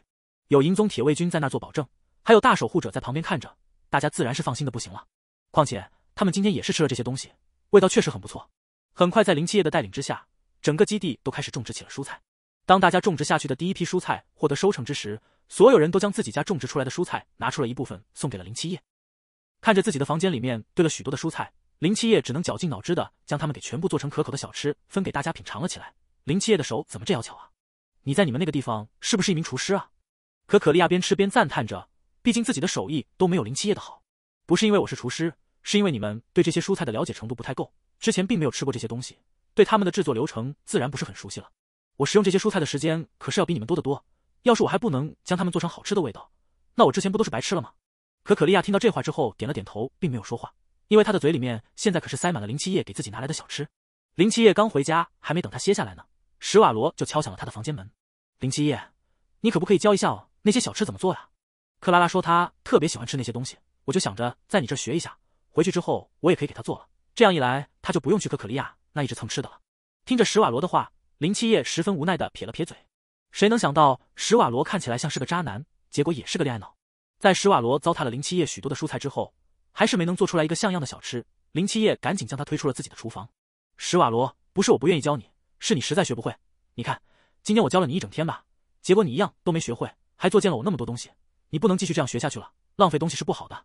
做小吃这种事情压根就不适合让你来，你就应该让克拉拉自己去学的。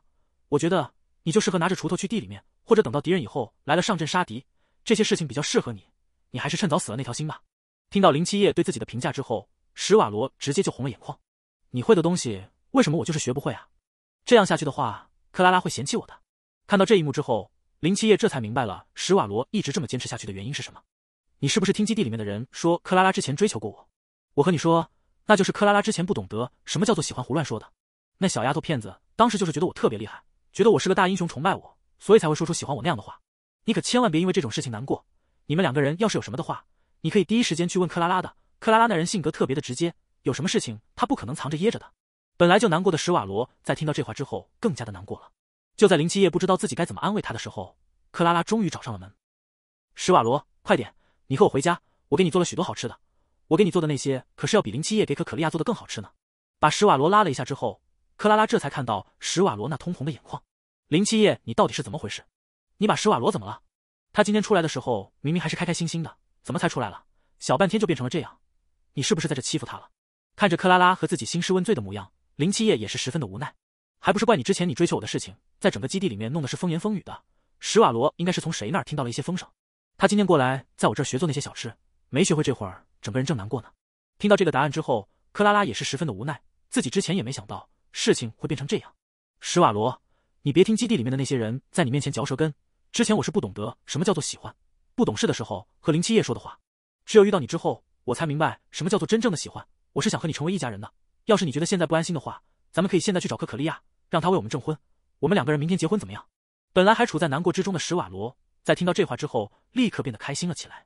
这件事情现在还不能着急，我还没有攒到一些值钱的东西。等到我准备的东西可以让整个基地里面的女人都羡慕你的时候，再和你结婚，不然大家都会笑话你的。吃了一嘴狗粮的林七夜，直接就将两个人给推了出去。这两个人也太讨厌了，刚才还在找自己兴师问罪，现在又开始甜蜜蜜了，居然还是在自己面前。史瓦罗，克拉拉做的饭特别好吃，以后你就不用学了，让他学着做就行了。果然和林七夜猜想的一模一样。当林七夜把这话说出来之后，本来已经开心了的史瓦罗情绪瞬间又变得低迷了起来。在把史瓦罗安慰好之后，克拉拉这才气冲冲的找到了可可利亚。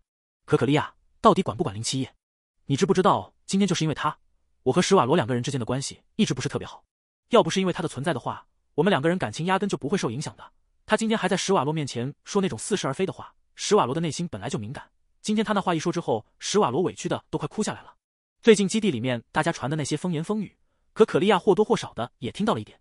看到克拉拉这么气冲冲的来找自己兴师问罪，可可利亚心里面也有一点不舒服了。林七夜说出了什么似是而非的话？我想。他应该不是那样的人吧？况且你们两个人之间的感情不太稳定，不是因为最近基地里面一直在传之前你追求过林七夜的这件事情吗？我想这才是最根本的问题吧。这些难道不应该怪你吗？当初是你要追求林七夜的，又不是林七夜逼着让你追求他的。这些你要从自己身上找原因，怎么能从我们家林七夜身上找原因呢？他有什么错？他不过就是在风头最盛的时候吸引了你罢了。听到可可利亚德这话之后，克拉拉就知道今天这人是要护着他们家林七夜了。算了算了，现在咱们两个人的情绪都不稳定。要是我继续和你说下去的话，说不定还会影响咱们两个人之间的感情。等到这件事情过去了之后，咱们两个人再好好说一说吧。克拉拉从可可利亚家离开之后，想起来自己之前做的那些举动，越来越后悔。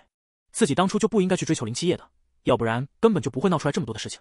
就是因为这件事情，让克拉拉痛定思痛。从那之后做起，克拉拉在每做一件事情之前，都认认真真的思考了起来，不再像之前那样风风火火的。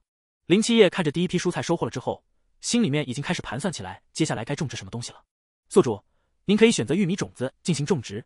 还在思考中的林七夜十分讨厌自己的系统拥有读心术这一项功能，因为这样会显得自己特别的呆。不过在再三思考之后，林七夜还是决定采纳系统的建议。毕竟玉米是真的特别实用，不仅可以补充人体所需要的营养，而且还十分便于保存。已经尝过一次甜头的人们，在听到林七夜准备给他们再发玉米种子的时候，大家都是十分开心的。这一次，林七夜已经懒到不愿意给大家仔细的去讲解该如何种植了，直接从人群中挑出了布洛尼亚。将所有的注意事项交代给他之后，便做起了甩手掌柜。而布洛尼亚则是不负众望，将林七夜交代的所有事项全部注意到了。叮咚，恭喜宿主积分再加一千。看到系统终于弹出来这样一个对话框之后，林七夜高兴的都差点再要在原地跳起来了。之前就是因为积分不够，在许多事情上面都受了极大的限制。现如今积分数量足够的话，自己能够做的事情可不少呢。可可利亚，接下来咱们就让整个基地里面的人开始学习种植玉米吧。那个东西可是能做出来不少好吃的呢。能够让大家在寒冷的天气中吃到绿油油的蔬菜，就光是这一点，已经让可可利亚很高兴了。他一点都没想到林七夜居然还能够给自己提供其他的可食用植物。当然可以了，关于种植这方面的事情，我全部都听你的。有了这个答案之后，林七夜这才放心大胆的开始行动了起来。第二天，玉米种子就已经下发在了整个基地里面。大家看着那小小的一粒东西，都有些震惊。林七夜，你确定这么小的东西可以种植出来东西吗？你可千万别玩我们。就是，虽然说现在我们没有什么事情干。但你要是敢耽误我们的时间，我们一定会让你吃不了兜着走的。对我们这些人是绝对不可能任你摆布的。要是你敢玩我们，你就完了。大家在下面叽叽喳喳的讨论着。史瓦罗听到这话之后，自然是忍不了了。毕竟林七夜最近为基地做的这些事情，自己都看在了眼里。况且没有林七夜的话，自己的这病根本就好不了。林七夜对自己来说可是像救命恩人一般的存在。史瓦罗怎么可能会容忍让这些人一直在这里欺辱林七夜呢？要是你们觉得林七夜不可靠的话，那你们就别跟着他一起种植不就行了吗？况且现如今种子也不过是发在你们的手里，林七夜又没有强迫人，让所有人都要种植下去，你们有自主选择权，别在这儿搞得好像林七夜强迫所有人必须得种下去一样。你们要是有人不愿意种的话，可以把种子给我，反正我有的是力气，这些东西对我来说不过就是小菜一碟，我全给种了。说这话的时候，史瓦罗已经开始在人群中转了起来，想要从大家手中将种子给要过来。可是，在转了一圈之后，史瓦罗的手上还是空空如也。我转了一圈，也没有人把东西愿意给我。怎么刚才说话的那几个人，现如今都已经原地消失了吗？要是你们愿意种的话，就在这儿都给我安静下来，听林七夜的安排。要是你们不愿意的话，把东西现在就给我，你们可以离开了。刚才在说话那几个人站在原地，自然是开始面面相觑了起来。毕竟蔬菜他们也是跟着一起吃了的，那味道确实让人流连忘返。要是他们这次将种植玉米的机会交出去，后面万一真的大家种植成功了，对他们来说可是极大的损失。况且在这种场景之下，他们交出自己手中的种子，那不就明摆着想要和林七夜作对吗？不说其他人了，就光可可利亚，说不定都会给他们穿小鞋。林七夜，我们愿意相信你。你说什么，我们就跟着你做什么。是啊，我们的神从一开始，所有人都是愿意相信你的。神，请您降临，改变我们的生活吧。看着这些人像墙头草一样两边倒，史瓦罗没忍住，直接就哼了一声。虽然说大家心中都有意见，可是当看到他身边站的克拉拉之后，也只能把那些不快全部忍了下去。毕竟克拉拉在整个基地里面，那可是小霸王一般的存在，要是惹怒了他的话，也不会有什么好果子吃的。林七夜将所有的种植事项全部叮嘱了一遍，还专门将克拉拉。布洛尼亚和史瓦罗三个人叫在一起，对他们进行了培训。刚才我给你们交代的那些注意事项，你们全部听清楚了没有？在史瓦罗和布洛尼亚都点头的时候，克拉拉与众不同的摇了摇头。林七夜，我不明白为什么你要不选择不定期的浇水呢？定期浇水，到时候收获的不是应该更多吗？你想啊，你对玉米照料的十分细心的话，那它的收成一定不会差的。要是三天打鱼两天晒网的话，那结果肯定不会好啊。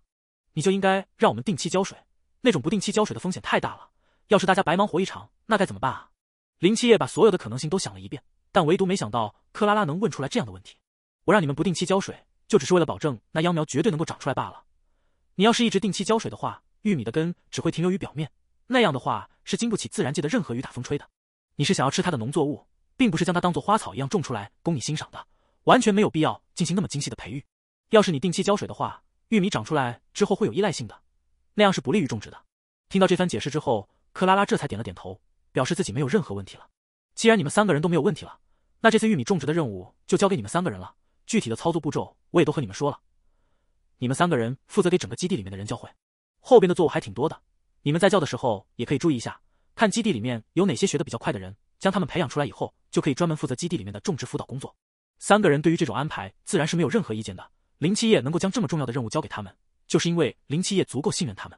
林七夜，你就放心吧。在我克拉拉的英明带领之下，我们三个人一定会完成你交代下来的任务。旁边的布洛尼亚和史瓦罗两个人看到克拉拉那一副打了鸡血的模样，都是十分无奈的表情。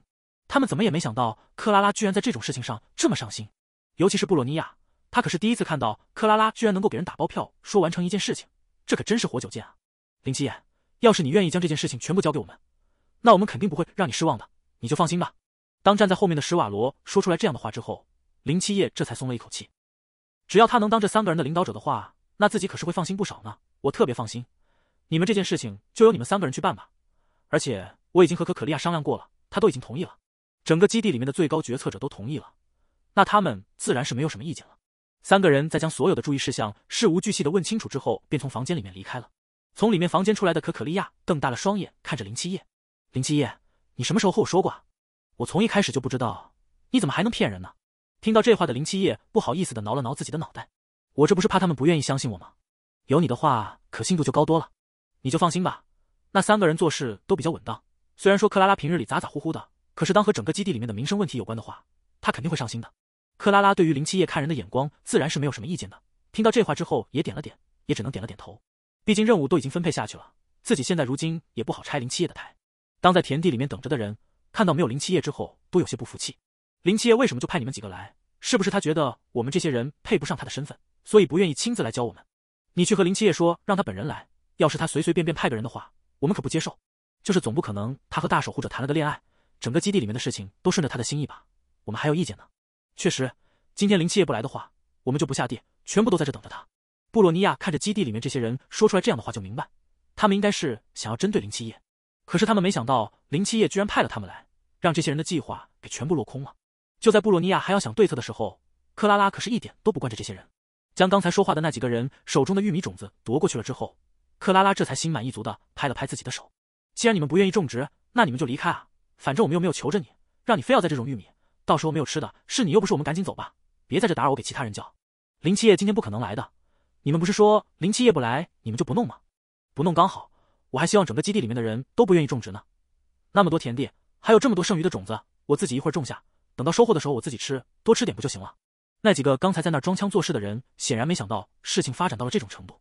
林七夜就是让你来教我们的，难不成你这种态度吗？要是你这样的话，那我们今天就全部罢工，我看你到时候交给谁？克拉拉站在人群最前面，将所有的人全部扫视了一眼，这才慢慢悠悠的开口：“我给你们选择的机会，今天要是罢工的话，以后林七夜的种子你们谁都拿不到。而且我们今天来的时候，林七夜也告诉我们了，以后基地里面的种植工作都交给我们三个人。你们要是敢惹怒我的话，以后我可是一点经验都不传给你们。我看你们到时候怎么把那些东西给种出来。”果然，克拉拉的这话确实有十足的威慑力。刚才还准备闹腾的几个人，在听到这话之后，都面面相觑。人群中本来想着离开的那几个人，都十分庆幸自己刚才没有发出声音。克拉拉，你别在这拿着鸡毛当令箭了，你那点小心思，我们还不清楚吗？你不就是想要把我们全部驯服好，然后你好去找林七夜邀功吗？我可告诉你，这种事情你就别想了，别拿着我们去给你当邀功的筹码。我们可，我也没说非要让你们留在这，我给了你们离开的机会，你们继续在这死皮赖脸的留着，那我有什么办法？我今天还就告诉你了，我做这些事情都是为了基地里面的人好一点，都没有想要自己邀功的打算。要不是为了整个基地考虑，就算林七夜今天来这求我，我都不愿意来呢。这种破地方，谁爱来谁来，把我晒的都快要脱一层皮了。你们是真的不打算种植吗？要是你们不打算种植的话，我就要回家去睡我的美容觉了。克拉拉的这话说完之后，就准备转身离开了。而布洛尼亚和史瓦罗也看出来了克拉拉的小心思，便假意拉着他：“克拉拉，你在这开什么玩笑呢？咱们整个基地里面的人都是愿意的，要不然我们怎么可能起这么大早就来到这儿啊？这会儿你就别和我们开玩笑了，刚才都是那几个不懂事。”想要在这儿胡搅蛮缠，你可千万别生气，我们都跟着你一起种植。终于听到自己想要的答案了，克拉拉这才抚了抚自己的衣袖。早这样说不就好了吗？赶紧拿着种子跟我进地吧，今天所有人都要把种子种下去呢。所在暗处的林七夜和可可利亚两个人看到这幅场景之后，都是十分满意的，点了点头。看来林七夜当时选择让克拉拉跟着他们两个人一起过来，确实是不错的。毕竟这儿的这些人，也就是只有克拉拉一个人能够治得住了。就在整个基地里面的人都在忙碌农活的时候。突然，前方又传来了即将开打的消息。林七夜也是没想到，这些人的行动居然这么快。距离上一次打斗才过去多久啊？